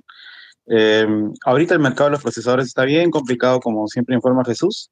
Eh, podrías conseguirte un 3600X o un 5600X, que sería ideal, pero como te digo, está un poco complicado el, mercado. Y si quieres eh, multi, multimonitor, multipantalla, ahí sí yo te recomendaría que vayas por una tarjeta NVIDIA, porque a veces las, las AMD tienen todavía algunos problemas de driver, ¿no? NVIDIA corre mucho más fluido en el tema multipantalla, así para que no tengas mucho problema, puede ser una 1660 super incluso, porque no, no creo que vas a querer jugar en 4K ni nada parecido, sino mejorar tu, tu, experiencia y tal vez jugar de vez en cuando unas cosas. Y con eso ya estaría muy bien, ¿no? 16 de RAM es lo, lo mínimo recomendable si, si quieres hacer algo multimedia. Eh, mejor si sacas más. Y como siempre hemos recomendado, hemos hecho reviews de los NVMe's. La B550 tiene para un slot de NVMe y vas a tener también para luego expandir discos duros como, como quieras. Pero, ¿generación 3 o generación 4 el NVMe? Eh, es que generación 4, Jesús, todavía no se nota mucho la diferencia. No sé si te has dado cuenta. Eh, yo, no, yo, tengo una placa que aguante generación 4, ese es el tema. Ah, eh, todavía no aguanta mucho la diferencia porque no está tan optimizada. Entonces, eh, si, si tienes el, el, dinero, sería simpático, pero no se nota mucho la diferencia del NVMe con generación 3 con generación 4 por el momento. De momento, generación 4 de NVMe está solo disponible para AMD, no para Intel, que yo sepa. Eh, las nuevas eh, placas de, de, Intel tiene en las placas habilitado esto, pero no está antes activado para el procesador.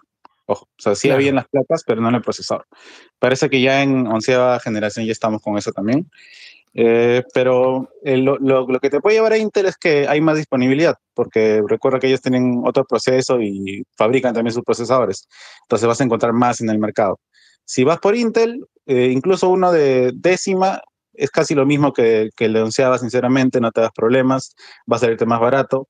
Eh, pero yo te recomendaría que, que, vayas con MD, que te va a dar más, más capacidad, ¿no? Porque luego puedes incluso, si te compraste un 5600X, comprarte un 5800 en el futuro, cuando ya vas a otra generación y vas a como que repotenciar, entre comillas, tu computadora más tranquilamente. Y recuerda la placa B550. X570 es como un sobrecosto para la mayoría de personas. Y adicional también que si vas a trabajar en tema de video, cuando hablamos de la aceleración por hardware en NVIDIA, está mejor desarrollada que la de Radeon OpenCL de repente para eh, Premiere no está tan bien armada como la, la, parte de NVIDIA al momento del render, sobre todo por aceleración de GPU, es no solamente impecable, sino que es hasta más veloz, eh, porque incluso el tema de Radeon eh, todavía como que se traba un poquito al momento del render. O sea, no es tan fluido como NVIDIA. Yo he renderizado con 1070 y va brutal. Y, y, ahora que estoy con la 5600, sí, va bien, pero no siento que sea tan lejana de esa 1070. No, que la 5000, la, la 5600 XT es como un 15% más que una 1070, más o menos. En, pero aún si así no en render, pero en uh -huh. render no lo he notado. O sea, el render se me hace muy similar, teniendo incluso el, el Ryzen 1 cuando probaba la 1070. Ahora que tengo el Ryzen 3 va un poco más rápido, pero aún así siento que la aceleración por hardware no es brutalmente mejor. Sí, todavía hay una chamba que tiene que hacer MD. Lo que dicen sus procesadores, ¿no? Porque comentábamos antes que en generaciones anteriores de Ryzen no había tanta compatibilidad, como que no. había iPod. Ahora se mejoró y ahora está la chamba pendiente de, de radio, ¿no? Que esperemos que la hagan, pero por ahora Nvidia es el, digamos que el, el, mejor lugar si vas a hacer también cosas de, de chamba en tu, en tu PC. No, pero tú has probado 6900. Eh, 6700, 6800, 6800 XT. Okay. tres. Y pero no, todavía, todavía, estamos en todavía estamos en Nvidia por, por ese tema más que nada. Y yo, yo, yo que tengo dos monitores eh, un poco extraños porque tengo do, doble monitor pero no la misma resolución. Igual que yo. Eh, a veces como que hay hipos, ¿no? Cuando utilizas una tarjeta de radio, pero con sí. Nvidia la 3060, la 1660 Super, 3070, 3080, todas esas probé este año, eh, no hay problema, estamos bien. Muy bien, Nishi. Gracias Listo. siempre por, por la oportuna aparición, providencial explicación. Y bueno, hay que, hay que hacer algo, Nishi, más seguido. Bueno, que estoy. Ahora sí me voy a hacer mi tarea. Cuídense todos. Vaya, vaya, vaya a limpiar la casa. Alberto Nishiyama de Newsky que estuvo aquí explicando justamente ese tema. ¿Cuánto vamos de tiempo? A oh, su madre, vamos un montón. Una más, creo, ¿eh? Si hay una más, con esa una cerramos. Ya, Enrique. Y ahora sí, vamos contigo, Enrique. ¿Cómo estás? Prende tu micro, Enrique. ¿Qué tal, ¿Qué tal Buenas noches. ¿Qué tal? ¿Cómo estás? Eh, Contigo cierro, ¿ah? ¿eh? Dime. Ya, gracias, gracias, gracias. Gracias, gracias por el, por el, por el halago de cerrar este, la, este, la sesión de hoy. Este, una consulta. Bueno, este, estaba escuchando, este, más que todo, animarme a este, comprarme un, ahorita un smartwatch. pero no sé, no sé si irme ahorita por los modelos Samsung o por, en este caso, los, los smartwatch este, de Xiaomi. Mm, no sé si podrías un poco ¿Qué has, ¿qué, has usado antes? No, recién voy a comenzar a usar, por eso te pregunto. Ah, ok. Mira, si. A ver, es que ahí yo sí soy bastante enfático en que la Mi Band es la experiencia por la que todo el mundo debe empezar, pero que es tan buena que te quedas. O sea, no te va a dejar probar otra cosa. Yo creo que una Mi Band hoy, una Mi Band 4 o 5, sin ningún problema puede ser tu primer smartwatch, incluso tratarlo como smartwatch, pese a que es un smartband, porque tiene varias funciones, como por ejemplo control de música, tienes el tema del monitoreo de sueño, tienes el tema de la actividad cardíaca, o sea, tienes varios sensores a un costo entre los 90 soles, bueno, 25, eh, 30 dólares, más o menos es un primer buen paso. Sin embargo, tienes dos modelos que justo hablaba de ellos al iniciar esta sesión de preguntas, como el Realme Watch S, que es un primer buen smartwatch, redondo, reloj, o sea, te da la hora, música, todo, reloj, redondito, para ver la hora con segundero. O sea, ese sí, que tiene pantalla IPS, pero va bien y está más o menos entre los 300, 250 soles, eh, más o menos al cambio 75 dólares. Pero también tienes la Huawei Watch Fit, que es este eh, smartband un poco más amplia, cuadrada con pantalla OLED de Huawei, que está más o menos entre los 80 dólares, 300 soles, más o menos el costo. Cualquiera de esos tres puede ser la Mi Band 5, la más que la Mi Band es mucho más delgada. Las otras tienen correas de 20 milímetros, 19 milímetros, son un poco más anchas para poder utilizarlas como reloj. Sí creo que podrían ser una buena experiencia de puente si es que en algún momento aspiras a un Active 2 o a un Watch 3 o a un Apple Watch, que son, digamos, la división más cara, o de repente un Fossil, o de repente un G-Shock con, eh, con Wear OS de Google que van a llegar ahora. O sea, son varios saltos que podrías dar, pero la primera, como primera, podrías ir por cualquiera de estas tres. Podrías ir por un Mi Band 6 o por un Mi Band 5, la Mi Band 6 todavía no llega a Perú, la Mi Band 5 podrías irte por el Realme Watch S y por la Huawei Watch Fit. En ninguna de estas tres le vas a poder instalar software. Todas ya vienen con sus propias herramientas, por eso la batería les dura más, porque el sistema operativo es sumamente ligero. Cuando hablamos de aplicarle Spotify, meterle notificaciones de Outlook o meterle otras cosas más raras, y ahí sí viene el Power Horse como el Galaxy Watch 3, como el Apple Watch, cuando es más inteligente el reloj. En este caso, una experiencia entre los 100 a 300 soles, o entre los 30 a 80 dólares, te da pues la opción de tener eh, no GPS, pero un GPS complementado con el teléfono, control musical, medición de sueño, eh, medición de ritmo cardíaco, eh, recordatorios, notificaciones sin interacción, significa que no vas a poder responder del reloj, y además agenda, contactos, eh, alarmas, vibración, todo ese tipo de cosas que son elementales para un reloj. O sea, en concreto, Mi Band 5, Realme Watch S o Huawei Watch Fit pueden ser tus primeras grandes opciones para iniciar en este insistente mundo del wearable. Yo en mi caso estoy usando en este momento un Fitbit Sense, que es un poco más caro, pero lo tengo a prueba. La próxima semana ya espero compartir mis impresiones como te he esperado hoy, nene, como te he esperado.